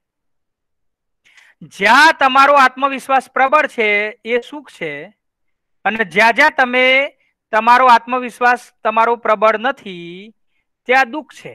તમે વિચાર કરો, જાતે આજ જે બાબત બોલ્યો, એના ઉપર થોડોક વિચાર કરશો ને તમને સમજાઈ જશે. સુખ એટલે શું દુઃખ એટલે શું? બીજું કઈ નથી. જ્યાં જ્યાં તમારો આત્મવિશ્વાસ છે, ત્યાં સુખ. જ્યાં આત્મવિશ્વાસમાં આપણે મતલબ પાછા પડીએ છીએ, ત્યાં દુઃખ. એટલે સુખ દુઃખનું કોઈ બીજું કોઈ ગણિત છે જ નહીં. It's a very simple think દાખલા તરીકે તમને હું કહું, આત્મવિશ્વાસ મતલબ જ્યાં જ્યાં તમારું સમાધાન તમને મળે છે ને ત્યાં સુખ છે જ્યાં સમાધાન મળતું નહીં ત્યાં દુઃખ છે. જ્યાં જ્યાં તમારો સેલ્ફ કોન્ફિડન્સ પાવરફુલ છે ત્યાં સુખ છે. જ્યાં સેલ્ફ કોન્ફિડન્સ પૂરો પડતો નથી ત્યાં દુઃખ છે. દાખલા તરીકે ઘણા લોકોને ભણવામાં આત્મવિશ્વાસ જળવાઈ રહે તો ભણવું એ એમના માટે સુખનો વિષય છે. અને જે લોકોને ભણવામાં આત્મવિશ્વાસ રહેતો નથી એમના માટે ભણવું એ દુઃખનો વિષય છે. સમજે છે? ખોટું કે સાચું? બોલો. સાચી વાત સાચી વાત કે ખોટી વાત? તમે તમારી જાતે અનુભવ કરો. તમે કોઈ એક્ઝામ્પલ આપી શકો? તમને ક્યાં ક્યાં દુઃખનો અનુભવ થાય છે? જ્યાં તમે જે વસ્તુ વસ્તુને તૈયારી ના કરી હોય કોઈ વસ્તુને આપણને ખબર જ ના હોય તો આપણને એમ થાય કે હવે ઓય લોચો પડવાનો હા, જ્યાં વિશ્વાસ નહીં ને ત્યાં- ત્યાં તકલીફ છે. જ્યાં વિશ્વાસ નથી ત્યાં તકલીફ છે. રાઈટ તમે ઇવન સંબંધોમાં પણ સંબંધોમાં પણ વિશ્વાસ જ્યાં છે, ત્યાં સુખ છે. સંબંધોમાં જ્યાં વિશ્વાસની કમી, ત્યાં દુઃખ. પછી એ તમારા મમ્મી પપ્પા સાથો, સાથેનો વિશ્વાસ હોય. દાખલા મમ્મી પપ્પા સાથેનો સંબંધ છે. હવે તમારો જો મમ્મી પપ્પા સાથેના સંબંધમાં વિશ્વાસ હોય એકબીજા પ્રત્યેનો, તો તમે સુખનો અનુભવ કરશો. જે મમ્મી પપ્પા સાથેના સંબંધમાં વિશ્વાસની કમી આવી, તો ત્યાં તમે દુઃખનો અનુભવ કરશો. તમારા મિત્રો સાથે જ્યાં વિશ્વાસ છે, એ વિશ્વાસમાં જો પ્રબળતા હશે ત્યાં વિશ્વાસની કમી નહીં હોય, તો તમારા મિત્રો સાથેના વિશ્વાસમાં તમને સુખનો અનુભવ થશે. જ્યાં તમને વિશ્વાસની કમી થઈ, ત્યાં શું થશે? ત્યાં દુઃખનો અનુભવ થશે.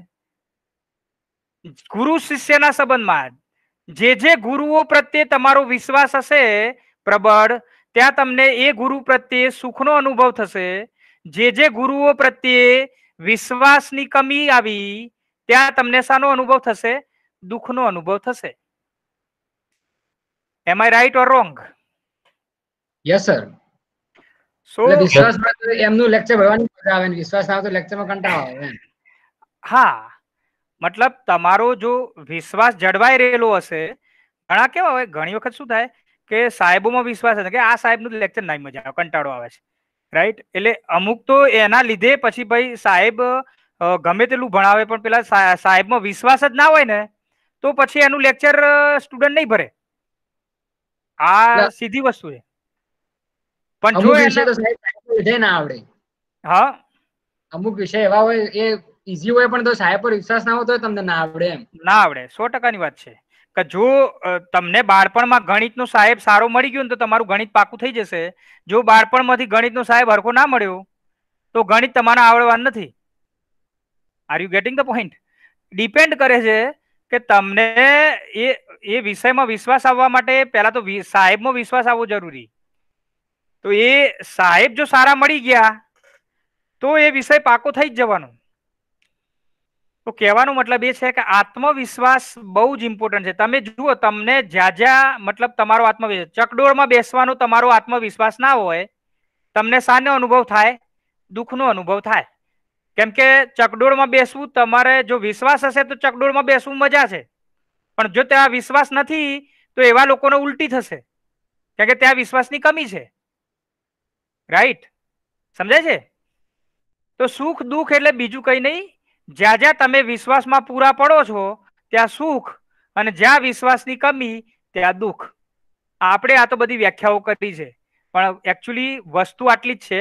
તમે તમારી જાતે અનુભવ કરી શકશો. તમને ક્યારે ક્યારે ગભરામણનું મતલબ જે થાય છે. ગભરામણ ક્યારે થાય? ક્યારે ક્યારે દુઃખની લાગણી થાય? જરા વિચાર કરો.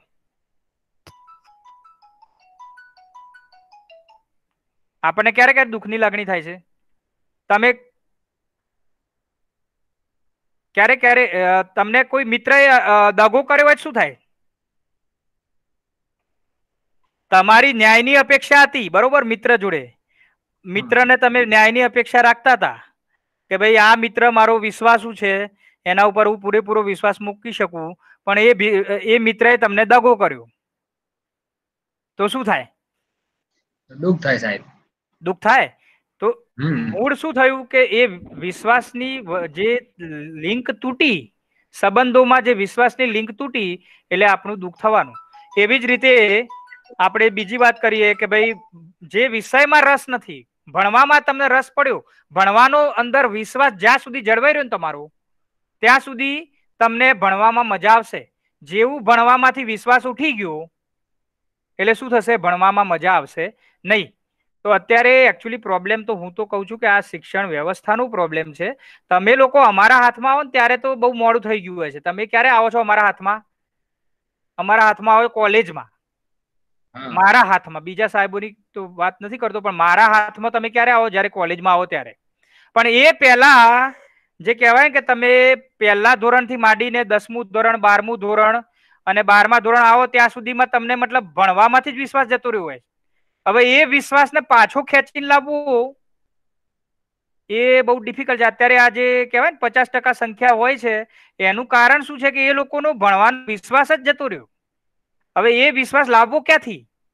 એ વિશ્વાસ પાછો કેવી રીતે કેળવવો? તો એ મતલબ વિચારવાની વસ્તુ છે. જો એ વિશ્વાસ જે લોકોનો જળવાઈ રહ્યો હશે હજી સુધી, એ લોકો આગળ વધી શકશે ભણવાની અંદર. બરાબર? પણ બાકી તો એની અંદર મતલબ જ્યાં વિશ્વાસની કમી છે, ત્યાં દુઃખ છે. સ્વીકૃતિનો ભાવ, કોઈ પણ વસ્તુને તમે સ્વીકૃત કરી શકો, જેને સ્વીકારી શકો, એ પછી તમારા સંબંધો હોય કે પછી કોઈ વસ્તુ હોય, જેને તમે સ્વીકારી શકો, સ્વીકૃતિ જેના પ્રત્યે તમારી છે, રોનક સાહેબના લેક્ચર પ્રત્યે તમારી સ્વીકૃતિ છે, તો એ તમને સુખ પ્રદાન કરશે. જ્યાં જ્યાં સ્વીકૃતિનો ભાવ નથી, જ્યાં સ્વીકૃત તમે કોઈ વસ્તુ નથી કરી શકતા, એ તમને દુઃખ પ્રદાન કરશે. So this is a very important factor self confidence જાત ઉપરનો વિશ્વાસ. રાઈટ તમને હું કોઈ પ્રશ્ન પૂછું, જો તમને આનો જવાબ આવડતો હોય તો તમારો કોન્ફિડન્સ ઓટોમેટિક હોય. તમે તરત જ સામેથી કહેશો, સાહેબ, હું જવાબ આપું. એ વખતે વિશ્વાસ તમારો ચરમસીમાએ છે. અને જો એ જ પ્રશ્ન જવાબ જેને ના આવડતો હોય અને પૂછું, ચલ ભાઈ, વિશાલ, જવાબ આપ. તમને જવાબ આવડતો નથી, ઊભો કરી દીધા બધાની વચમાં, જવાબ આપો, જવાબ નથી આવડતો, શું થશે? વિશ્વાસ ત્યાં નથી. તો એ પછી તમે મતલબ અંદરથી જ એવું અનુભવશો કે, આ ક્યાં મને સાહેબે પૂછ્યું? કારણ કે એ વસ્તુ પ્રત્યે તમારો વિશ્વાસની કમી છે. તો આઈ થિંક આત્મવિશ્વાસ બરાબર સમજી ગયા છો હું શું કહેવા માંગુ છું આત્મવિશ્વાસ વિશે? તો આત્મવિશ્વાસ બહુ self confidence is a very important thing તમારા જીવનમાં સફળ થવું હોય ને તો આત્મવિશ્વાસ જરૂરી છે. કદાચ પેલા ઇન્ટરવ્યુ વાળું હતું ને આપણું લેક્ચર એમાં પણ આ વાત કરેલી સાહેબે. આત્મવિશ્વાસ રાઈટ એમને કદાચ આટલી ડિટેલમાં વાત નથી કરી પણ આત્મવિશ્વાસ it's a most important factor જીવનમાં જો સફળ થવું હોય તો તમારો આત્મવિશ્વાસ ચરમ સીમાએ હોવો જોઈએ રાઈટ તીવ્ર ઈચ્છા બર્નિંગ ડિઝાયર એનું તો મેં તમને એક્ઝામ્પલ આપી દીધું. જે હમણાં ગુરુ શિષ્યનું એક એક્ઝામ્પલ તમને આપ્યું કે તમારામાં કોઈ પણ વસ્તુમાં તમારે સફળ થવું હોય તો તમારી ઈચ્છા તીવ્ર હોવી જોઈએ. જો એ તીવ્ર ઈચ્છાની કમી હોય, તમારે યુનિવર્સિટી ફર્સ્ટ આવવું છે, પણ એ તીવ્ર ઈચ્છા જો તમારી હોય તો તમે ફર્સ્ટ આવવાના જ. પણ એટલી બધી ઈચ્છા તીવ્ર હોવી જોઈએ કેટલી?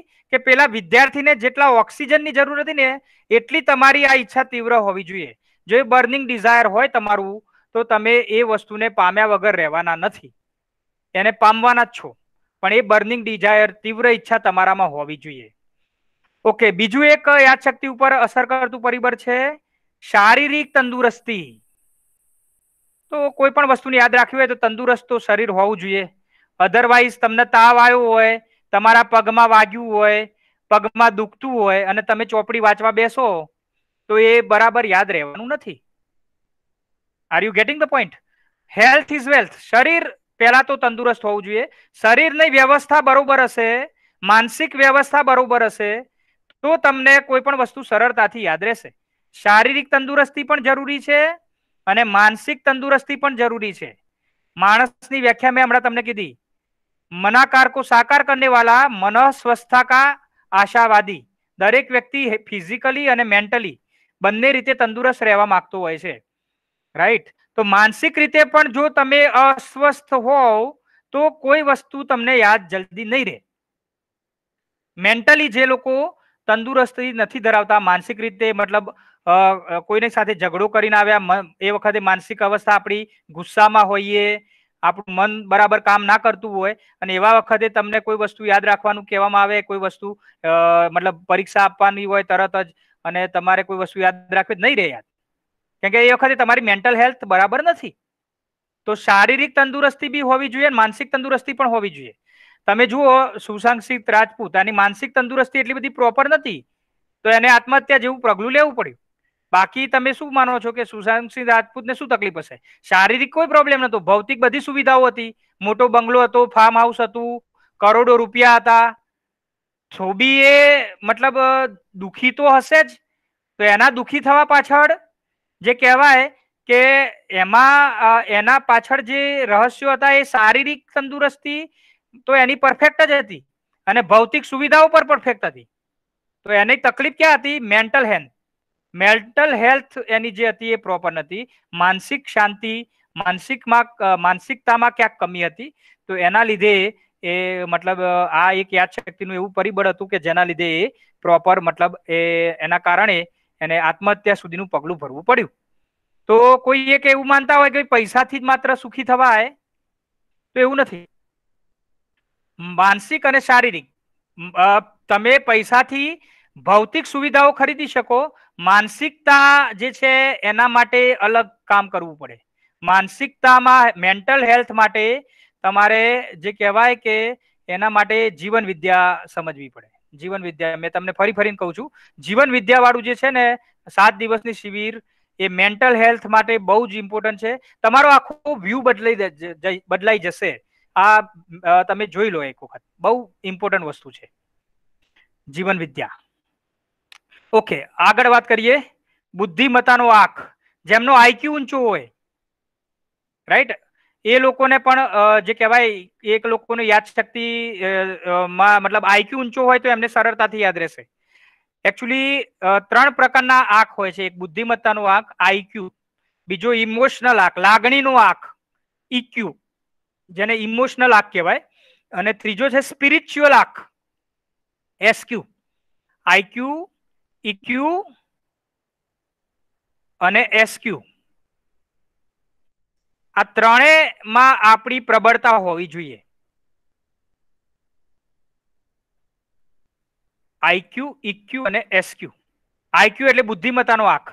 જેમની બુદ્ધિ તીવ્ર હોય, એમને ફટાફટ યાદ રહી જાય. ડોક્ટરો જે બનતા હોય, એમનો બુદ્ધિમત્તાનો આંક બહુ ઊંચો હોય.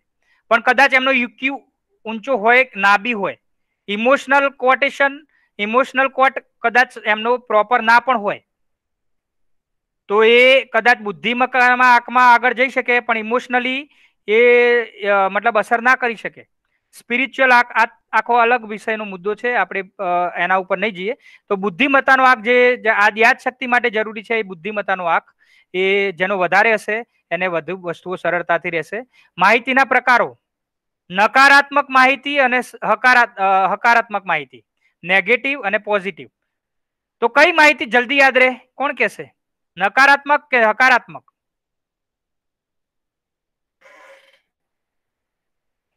યસ. વિચાર કરો તો જરા આના ઉપર. કઈ માહિતી વધારે યાદ રહેતી હોય છે? સાહેબ મારું કહેવાનું એવું થાય કે નકારાત્મક માહિતી વધારે યાદ રહે. સાચી વાત છે. તમે ન્યૂઝ ચેનલો જુઓ. ન્યૂઝ ચેનલોમાં હંમેશા શું આવતું હોય છે? બધું નકારાત્મક જ ચાલતું હોય. ન્યૂઝ ચેનલો હોય કે ન્યૂઝપેપરો હોય એમાં જનરલી હોય શું? બધી જ ખબરો મોટે ભાગે કેવી હોય છે? નકારાત્મક હોય. અને નકારાત્મક કોઈક ઝઘડો ચાલતો હોય ફટ દઈને આપણે ત્યાં અંદર ઇન્વોલ્વ થઈ જઈએ. તો નકારાત્મક જે છે, એ માહિતી ઝડપી યાદ રહેતી હોય છે એઝ કમ્પેર ટુ હકારાત્મક. હકારાત્મક હું યુટ્યુબના લેક્ચરો મૂકું, કેટલા લોકો જોવા વાળા છે? કોઈ નહીં જુએ. પચાસ, સો માણસ મોડ મળે તમને. પણ નકારાત્મક કંઈક આવતું હોય તરત એને જોવા લાખો કરોડો લોકો હોય છે. Are you getting the point નકારાત્મક ખબર, ખબરો તમે લઈ લો.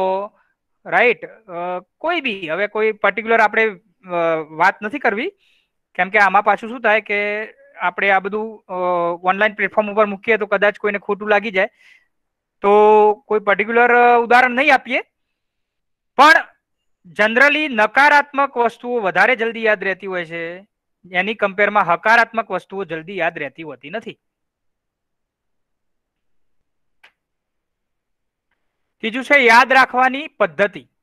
આ પણ એક અગત્યનું પરિબળ છે કે તમે યાદ રાખવાની કોઈ પદ્ધતિનો ઉપયોગ કરી મેથડ ઓફ રજીસ્ટ્રેશન તમે જ્યારે માહિતીને રજિસ્ટર કરો, માહિતીને રજિસ્ટર કરો, એ રજિસ્ટર કરતી વખતે કઈ મેથડનો ઉપયોગ કરો છો? કેટલી ઇન્દ્રિયોનો ઉપયોગ કરો છો? અથવા તો કોઈ બીજી પર્ટિક્યુલર મેથડનો ઉપયોગ કરી અને તમે એને યાદ રાખી શકો. તો રજીસ્ટ્રેશન કરતી વખતે કોઈ સારી યાદ રાખવાની પદ્ધતિનો ઉપયોગ જો તમે કર્યો હોય, તો એ એ તમને વધારે સારી રીતે વસ્તુ યાદ રહી જશે. તો યાદ રાખવાની પદ્ધતિ મેથડ ઓફ રજીસ્ટ્રેશન જ્યારે માહિતીનું રજીસ્ટ્રેશન થાય, એ વખતે જો પ્રોપર મેથડનો યુઝ કરવામાં આવે, તો એ વસ્તુ વધારે સારી રીતે યાદ રહેતી હોય છે.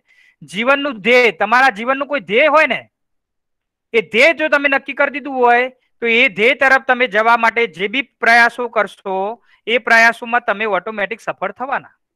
કેમ કે જ્યારે તમે ગોલ નક્કી કરો છો, તો ગોલ માટે તમે પછી બધા જ પ્રયત્નો કરવાના, એના માટે તમારું જે કહેવાય કે કુતૂહલતા બી તમારી રહેવાની, તીવ્ર ઈચ્છા પણ રહેવાની, કેમ કે એ ગોલ સુધી તમારે પહોંચવું છે. તો જીવનનું જે ગોલ હોય એ પણ તમને કોઈ વસ્તુને યાદ રાખવા માટે કોઈને ડોક્ટર બનવું છે તો ડોક્ટર બનવાનો જો ગોલ હોય તો એને પછી એ ચોપડીઓ યાદ રાખવી જ પડશે. એના માટે એને જે જે કરવું પડે એ કરશે જ. તો જીવનનું ગોલ જે છે it is also very important સામાજિક વાતાવરણ. તમારી આજુબાજુનું વાતાવરણ, સામાજિક વાતાવરણ. તમારા ઘરમાં ઝઘડા ચાલતા હોય અને તમે વાંચવા બેસો કે કોઈ વસ્તુને યાદ રાખવા બેસો તો એ તમને ડિસ્ટર્બ કરતું જ હોય છે. તો ઘરનું વાતાવરણ, તમારી આજુબાજુ જે સોસાયટી છે, એ સોસાયટીનું વાતાવરણ, તમારા સિટીનું વાતાવરણ, તમારી આજુબાજુના સમાજનું વાતાવરણ, તમારા કુટુંબનું વાતાવરણ, તો આ બધી જ વસ્તુઓ ઇફેક્ટ કરતી હોય છે. સોશિયલ એટમોસ્ફિયર સામાજિક વાતાવરણ. આપણી આજુબાજુનું વાતાવરણ કેવું છે? એ વાતાવરણ પણ તમને ઇફેક્ટ કરે છે. કેમ કે તમારા આજુબાજુના વાતાવરણથી તમારી મેન્ટલ જે કહેવાય કન્ડિશન એ રીતની થવાની. રાઈટ તમારા મિત્રો સારા હોય તો તમારી મેન્ટલ કન્ડિશન એ પ્રમાણે એનું તમારું પ્રોગ્રામિંગ થવાનું. અને જો તમારા મિત્રો રખડેલ હોય, તમારા મિત્રો મતલબ એમની એમનો ગોલ જ અલગ હોય, તો એ પ્રમાણે તમારું જે કહેવાય મેન્ટલ કન્ડિશન થવાની. રાઈટ તો આ સામાજિક વાતાવરણ પણ યાદશક્તિમાં અસર કરતું એક અગત્યનું પરિબળ છે અને જે આ છેલ્લું પરિબળ છે એ છે માન્યતા. માન્યતા જે છે it is also very important તમે જેવું માનો છો, એવા તમે બનો છો. Believe believe is always true but it depends what you believe માન્યતા હંમેશા સાચી જ હોય છે, પણ એ ડિપેન્ડ કરે છે તમે શું માનો છો. દાખલા તરીકે હું એક એક્ઝામ્પલ આપું કે તમે એવું માનતા હોય કે ભાઈ બિલાડી આડી ઉતરે તો શું થાય? અપશકુન થાય. તો એ તમારા માટે સાચી વસ્તુ છે. અને જો તમે એવું માનતા હોય કે બિલાડી આડી ઉતરે તો એ તમારા માટે અપશકુન નથી. તો આ બંને વસ્તુ તમારા માટે સાચી છે. તમે શું માનો છો એના ઉપર ડિપેન્ડ કરે છે. સમજાય છે હું કહેવા શું માંગુ છું? તમે જો એવું માનતા હોય કે બિલાડી આડી ઉતરવાથી અપશકુન થાય, તો સાચું જ છે.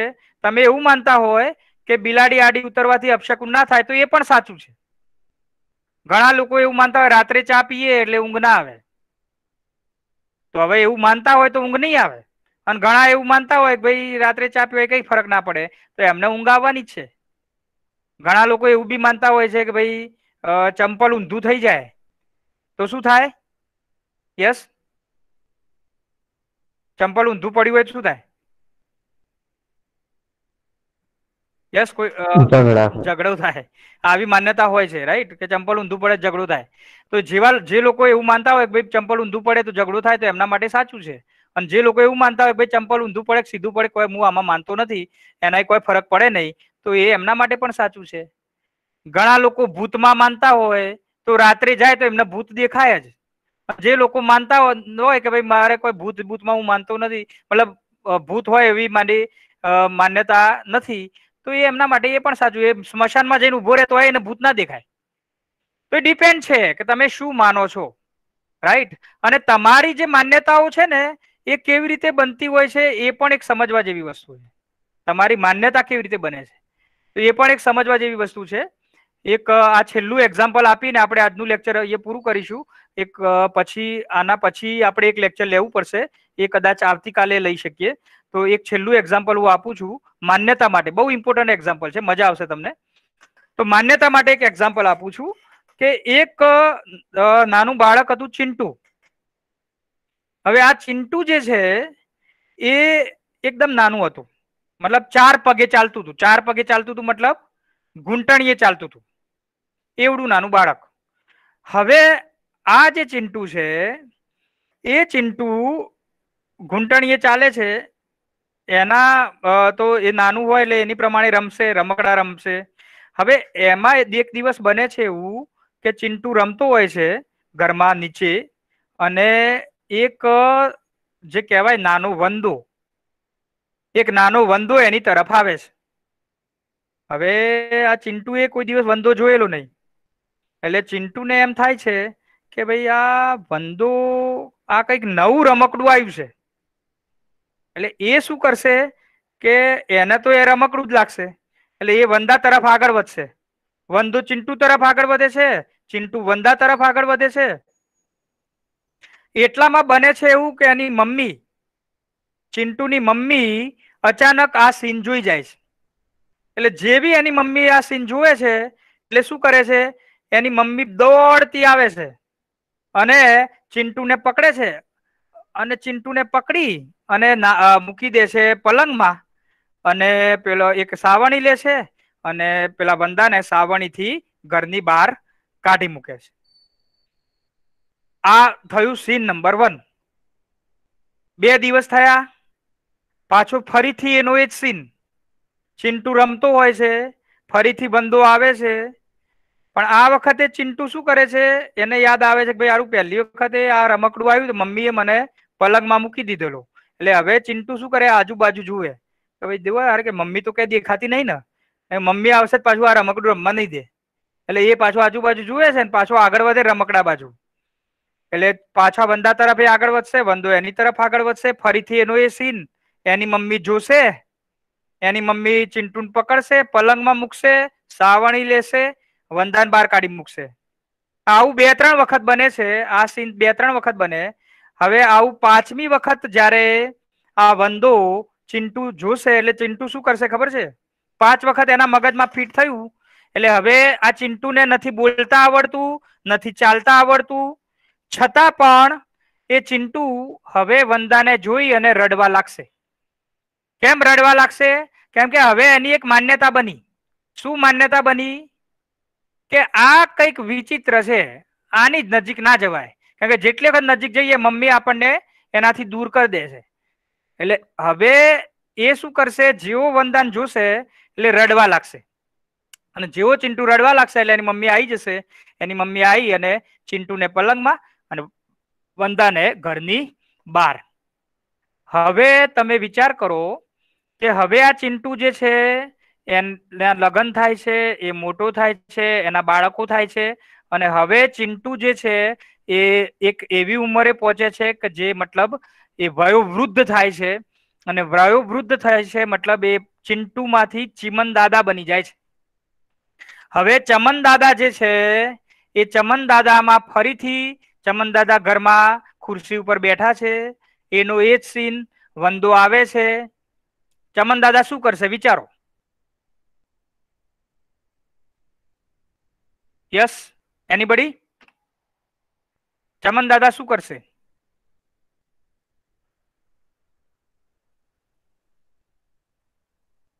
હવે ચિંટુ ચિંટુ નથી રહ્યો. ચમન દાદા થઈ ગયો છે. તો ચમન દાદા કરશે શું? ખુરશીમાં બેઠા બેઠા સાહેબ પગ ઉપર લઈ લે ચમન દાદા. હા. કાં તો ખુરશીમાં બેઠા બેઠા પગ ઉપર લઈ લેશી. અથવા તો એવું કરશે કે ભાઈ જે એમની મમ્મી કરતી હતી. એક સાવણી લેશે. અને વંદાને બહાર મૂકી. દેશે. કાઢી મૂકશે. હવે મેં જે હું તમને સમજાવવા માંગુ છું એ વાર્તા દ્વારા એ સમજાવવા માંગુ છું કે આપણે જ્યારે આપણી આજુબાજુના વાતાવરણમાં જીવીએ છીએ સામાજિક વાતાવરણમાં જીવીએ છીએ તો આવી ઘણી બધી માન્યતાઓ આપણા અંદર ઘર કરી ગઈ હોય છે. હવે આ જે ચિંટુ છે કે ચમન દાદા છે, એનું વંદાએ બાળપણથી માંડીને ઘડપણ સુધી કશું જ બગાડ્યું નથી. છતાં જેવો એને જોવે છે, તરત જ ઘરની બહાર કાઢી મૂકે છે. તો આ એમની માન્યતા દ્રઢ થઈ ગઈ. કે આ વંદો એટલે કંઈક વિચિત્ર, એને આપણી જોડે આવવા દેવાય નહીં, એને બહાર જ કાઢવું પડે. આવી ઘણી બધી માન્યતાઓ બાળપણથી માંડીને અત્યાર સુધીમાં આપણે બનાવી દીધી હોય છે. ઘણી બધી માન્યતાઓ. અને એ માન્યતાઓમાં આપણે જીવતા હોઈએ છીએ. રાઈટ તો દરેકે દરેક વસ્તુની માન્યતાઓ, ઘણી બધી માન્યતાઓ, તમને થોડાક એક્ઝામ્પલ આપું. ઘણા લોકોને એવી માન્યતા હોય છે કે ભાઈ, હું તો બરાબર દેખાતો નથી, મારો દેખાવ બરાબર નથી. રાઈટ ઘણા લોકોને એવી માન્યતા હોય કે ભાઈ, મારું તો જે કહેવાય, મારી હાઈટ ઓછી છે, તો હું બરાબર નહીં જીવી શકું. ઘણાને એવી માન્યતા હોય કે ભાઈ મારું મોઢા, મારું નાક થોડું મોટું છે. રાઈટ તો આવી બધી, ઘણા લોકોને એવી માન્યતા ભાઈ મને તો ભણવામાં હું તો મતલબ બહુમાં બહુ પચાસ ટકા જ આપણી તાકાત, એનાથી વધારે નહીં. હવે આ માન્યતા એને કેવી રીતે ઘર કરી ગઈ હશે? તો એનું જે સામાજિક વાતાવરણ છે, એ સામાજિક વાતાવરણમાં શું થાય કે ઘણી વખત એના પપ્પાએ કીધું હશે કે લે તું તો ડફોર છે, તારે બહુ તાકાત નહીં, તું પચાસ ટકાથી વધારે ના લાવી શકે. કાં તો એના કોઈક સાહેબે કીધું હશે કે ભાઈ તારી તાકાત જ નહીં. તું બહુમાં બહુ સાઠ ટકાનો ગ્રાહક બરાબર? કોકે કીધું હોય ભાઈ તને પ્રોગ્રામિંગ ના આવડે. તો પાસે ગમે તેટલી મહેનત કરીએ તને પ્રોગ્રામિંગ આવડવાનું નથી. હવે આ બધા વાતાવરણમાંથી જ્યારે મનુષ્ય પસાર થાય, એટલે આ બધું બિલીવ જે હોય, એ બિલીવ સ્ટ્રોંગ થતો જાય. હવે એ બિલીવ એના માટે સાચો છે? હવે એ પોઝિટિવલી વિચારે કે નેગેટિવલી વિચારે? એ બંને એના માટે સાચું છે? Are you getting the point તો આવી ઘણી બધી માન્યતાઓ આપણે ઘર, આપણી અંદર ઘર કરી જતી હોય છે અને એ માન્યતાઓ જે કહેવાય ખોટી માન્યતાઓમાંથી આપણે બહાર નીકળવું પડે. તમે જુઓ, એક હાથી હોય ને, હાથી, એને નાનપણથી બાળક હોય, એ હાથીને નાનપણથી એક સાંકળ વડે બાંધવામાં આવે, હાથીનું નાનું બચ્ચું હોય અને બાળપણથી તમે સાંકળથી બાંધો. પછી એ થોડું મોટું થાય, એને રોજ તમે સાંકળથી બાંધી રાખો છો, મોટું થયું મોટું થયું મોટું થયું. પછી એ હાથી જે છે એ મોટું બળવાન હાથી થઈ જાય. એકદમ વયસ્ક. છતાં તમે એને નાની પાતળી ચેનથી બાંધી રાખો એ બિલકુલ હલવાનું ટ્રાય નહીં કરે. સમજાય છે તમને? કેમ નહીં કરે? ટેવ પડી છે બધા રહેવાની. એની માન્યતા દ્રઢ થઈ ગઈ. એને બાળપણમાં પહેલા ટ્રાય કર્યો હશે એ સોકરને તોડવાનું. પણ એ સોકર તૂટી નહીં. પછી એ નાનાથી મોટો થયો. પણ એના મગજમાં તો એ જ થઈ ગયું કે આ સોકર ના તૂટે પતી ગયું. આ સોકર તૂટે જ નહીં. એટલે હવે હવે એને કોકને યાદ કરાવવું પડે. શું યાદ કરાવવું પડે? ભાઈ, હવે તું બાર બચ્ચું નથી રહ્યો. હવે મોટો વયસ્ક થઈ ગયો છે, મોટો હાથી થઈ ગયો છે, બળવાન. રાઈટ હવે તું ખાલી એક તાકાત, એક પગનો જરાક હલાય તો ખરો. સેજ હલાય તો ખરો. આખું સોકડ શું? આખો દરવાજો તૂટીને બહાર આવશે. પણ એ, એની જે માન્યતા છે, એ માન્યતામાંથી એ બહાર ના નીકળે તો એ સોકડ તૂટવાની જ નથી. તૂટવાની છે? એટલે આવી ઘણી બધી ખોટી માન્યતાઓ આપણે આપણા જીવનમાં ઘર કરી દીધી હોય છે. ઘણા લોકોને મગજમાં ફિટ થઈ ગયું કે આપણી તાકાત આટલી જ છે, આટલા જ ટકા આપણે લાવી શકીએ, આપણે આટલું જ કરી શકીએ. તો એ બધી જેમની માન્યતાઓ ફિટ થઈ ગઈ, એમને એ માન્યતાઓમાંથી બહાર લાખવા માટે, બહાર કાઢવા માટે જે કહેવાય કે એમની શક્તિનું પરિચય કરાવવો પડે. અને એ પરિચય ક્યારે થઈ શકે? તો એ જ્ઞાન દ્વારા જ થઈ શકે. બરાબર? સમજણ એટલે સુખ, ના સમજણ એટલે દુઃખ. સમજીને તમે કોઈ વસ્તુને, મતલબ જે વસ્તુ જેવી છે, એને જો તમે એવી સમજી લો, તો એ સુખ છે. જો તમને સમજણ ના પડી, તો એ દુઃખ છે. તો માણસ એ જ્ઞાન અવસ્થા છે, એનામાં સમજણ શક્તિ છે. જ્યાં જ્યાં એની સમજણ શક્તિ પૂરી પડે છે, ત્યાં એ સુખનો અનુભવ કરે છે. જ્યાં જ્યાં એની સમજણ શક્તિ પૂરી થતી નથી ત્યાં એ દુઃખનો અનુભવ કરે છે. Are you getting the point yes sir જે વસ્તુ જેવી છે ને એને એવી સમજવી પડે. યસ સર મતલબ આપણે એને એકચ્યુઅલી ત્રણ કોઈ વસ્તુ છે ને એને એને સમજવાના ત્રણ ત્રણ ત્રણ રીતે એને સમજી શકાય. એક છે એનું અધિમૂલ્યન. બીજું છે એનું અવમૂલ્યન. અને ત્રીજું છે એ વસ્તુ જેવી છે એને એવી સમજવી. એક એક્ઝામ્પલ આપું. કે ધારો કે ધન ધન અથવા પૈસા પૈસા પ્રત્યેનો આપણો જે કહેવાય કે અભિગમ, પૈસા પ્રત્યેનો આપણો એટીટ્યુડ તો એમાં ત્રણ વસ્તુ છે. કાં તો તમે પૈસાનું અધિમૂલ્યન કરો છો, કાં તો અવમૂલ્યન કરો છો, અથવા પૈસા જેવા છે એને એવા સમજો છો. પૈસાનું અધિમૂલ્યન કરવું એટલે શું? પૈસાનું અધિમૂલ્યન કરવું એટલે? ઘણા બધા એવું કહેતા હોય ભાઈ પૈસા પૈસો ભગવાન તો નથી પણ ભગવાનથી ઓછો એ નથી. આવા આવું તમે સાંભળ્યું હશે. ના બાપ બડા ના ભૈયા સબસે બડા રૂપૈયા. સાંભળ્યું છે આવું? હા અત્યારે મતલબ આ બધાની માન્યતા છે જનરલી. મોટા ભાગના લોકોની માન્યતા આ છે. તો ના બાપ બડા ના ભૈયા સબસે બડા રૂપૈયા હા પૈસા ભગવાન નથી પણ ભગવાનથી ઓછા બી નથી. સૌથી મોટો પાવર મની પાવર તો આ જે છે માન્યતા, આને કહેવાય પૈસાનું અધિમૂલ્યન કર્યું. પૈસાનું અવમૂલ્યન કરવું એટલે શું? પૈસાનું અવમૂલ્યન કરવું એટલે? તો એમાં ઘણાના આવી બી માન્યતા હોય છે. આવું પણ તમે સાંભળ્યું હશે. હા, પૈસા તો હાથનો મેલ છે. સાંભળ્યું છે? પૈસા તો હાથનો મેલ છે. તો એને કહેવાય પૈસાનું અવમૂલ્યન કર્યું. મતલબ પૈસા તો કઈ નથી, એમ સામાન્ય વસ્તુ છે. તો તમારે કોઈ વસ્તુનું અધિમૂલ્યન બી નથી કરવાનું કે એનું અવમૂલ્યન બી નથી કરવાનું. મધ્યસ્થ. પૈસાની જેટલી જરૂરિયાત છે, એટલો પૈસો જરૂરી છે. પણ એવું બી નહીં કે એના માટે મતલબ તમારે એનું એટલું બધું અધિમૂલ્યન કરવું પડે. અત્યારે સમાજમાં પ્રોબ્લેમ આ બહુ મોટો છે. પૈસાનું એટલું બધું અધિમૂલ્યન થઈ ગયું છે કે ડોક્ટર હોય કે વકીલ હોય કે કોઈ પણ હોય, બરાબર? દૂધ વાળું દૂધમાં પાણી મિલાવે છે ડોક્ટર જરૂર ના હોય તો એ ચીરી નાખીને ઓપરેશન કરી દે છે, વકીલ જરૂર ના હોય તો એ કેસના લાભો ખેંચા કરે છે. આપણે જે વસ્તુઓ ખાઈએ છીએ, એમાં પણ ઘણી બધી ભેળસેળ થઈ ગઈ છે. આપણે પ્રકૃતિને ઘણું બધું નુકસાન કરી રહ્યા છીએ. તો આ બધાની પાછળ કારણ શું છે? શું કારણ છે? પૈસો. પૈસાનું અધિમૂલ્યન. પૈસો કારણ નથી. પૈસાનું જે મહત્વ વધારે પડતું આપી દીધું. કે ભાઈ પૈસો એટલે સર્વસ્વ એમ. પૈસા સિવાય કશું છે નહીં. એ એનું અધિમૂલ્યન થઈ ગયું કહેવાય. પણ ખરેખર પૈસાની જરૂર કેટલી છે? કે ભાઈ આપણી બધી જ ભૌતિક સુવિધાઓ જે છે એ આપણી સંતોષ આવી જોઈએ.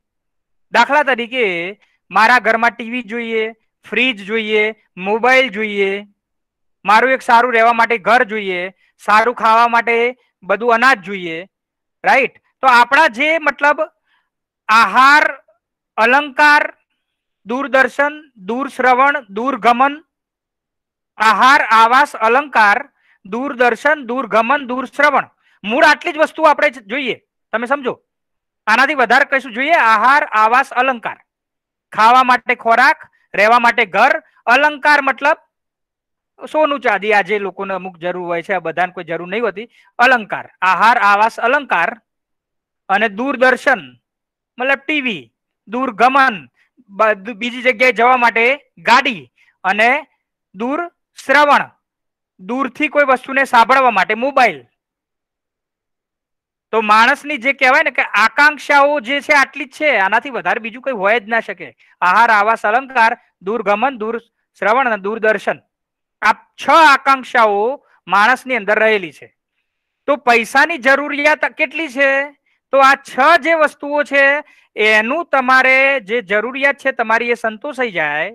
તમારા ઘરમાં ટીવી બી આવી ગયું, ફ્રીજ બી આવી ગયું, એસી બી આવી ગયું રાઈટ તમારે રહેવા માટે સારું મકાન બી આવી ગયું પહેરવા માટે ઘડિયાળ આવી ગઈ, મતલબ અલંકારમાં કોઈને નાનો મોટો દોરો લઈ લીધો, સોના ચાંદીનો રાઈટ અલંકાર તમારો આવી ગયો. તો આહાર, આવાસ, અલંકાર, દૂર દર્શન, દૂર ગમન, દૂર શ્રવણ, આટલી આકાંક્ષાઓ સિવાય પૈસાની બીજી જરૂરિયાત છે શું? એટલી આકાંક્ષાઓ પૂરું કરવા માટે કેટલા પૈસાની જરૂર છે એ પણ વિચારવા જેવી વસ્તુ છે. તો મૂળ આપણે કોઈ વસ્તુના ઊંડાણમાં નથી ઉતરતા, એ ઊંડાણમાં નથી ઉતરતા એ મોટા મોટું દુઃખ છે. તો આ જે છે એ અધિમૂલ્યન જે આપણે કરીએ છીએ. હવે આટલી વસ્તુ જોતી હોય ને તો હું તમને કહી દઉં, આટલી વસ્તુ માટે કઈ ખાસ બહુ મોટું મહેનત કે જે કહેવાય કે પૈસાની પાછળ પાગલ થવાની જરૂર નથી. આટલી વસ્તુ માટે. તમે સમજી શકો. કેમ? કેમ કે જુઓ, જનરલી આવાસ જે છે, મમ્મી પપ્પાએ બનાવીને જ રાખ્યું છે આપણા માટે ઘર. આહાર આહાર તો આપણને બહુ ઇઝીલી મળે જ છે. તમારે બાર મહિનામાં આહાર કેટલું જોઈએ? રોટી, કપડા, મકાન કેટલું જોઈએ? બે જોડી કપડા તમે બાર મહિનામાં પહેરતા હશો. બે, ત્રણ જોડી નવા લેતા હશો. રોટી, કપડા, મકાન થઈ ગયા, દૂરદર્શન, મોબાઈલ બધા જોડે હોય છે. બધું જ હોય છે. છતાં લોકોની જે પૈસા પાછળની દોટ છે, એ એમને નથી જીવવા દેતી, નથી બીજાને જીવવા દેતી. આ એક સૂત્ર છે ને, જીવો અને જીને દો. તો હું એનાથી ઉલટું કહું છું. જીને દો ઓર જીવો. જીને દો ઓર જીવો.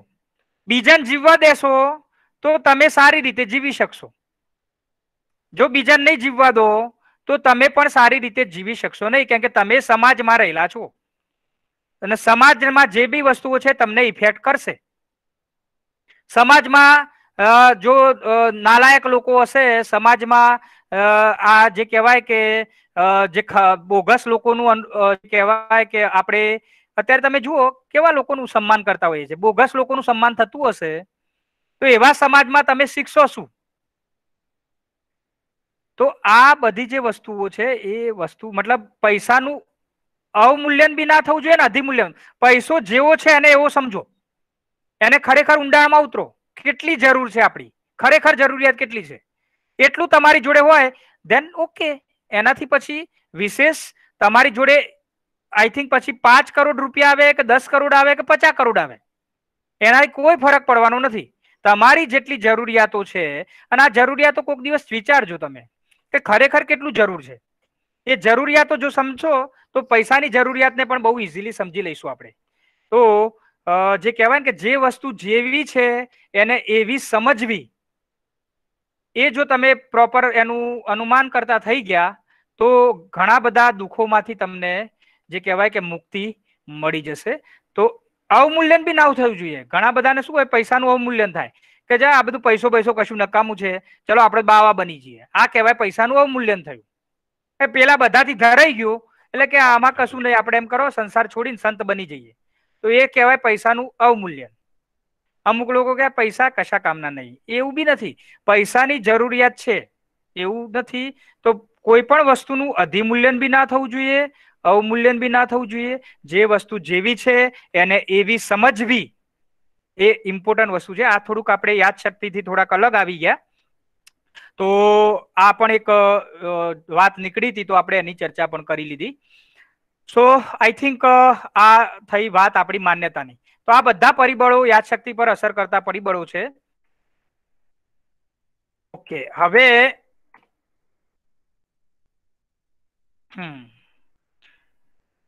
ઓકે, હવે તમને આજનું જે લેક્ચર છે એમાં હજી આપણે એક લેક્ચર લેવું પડશે.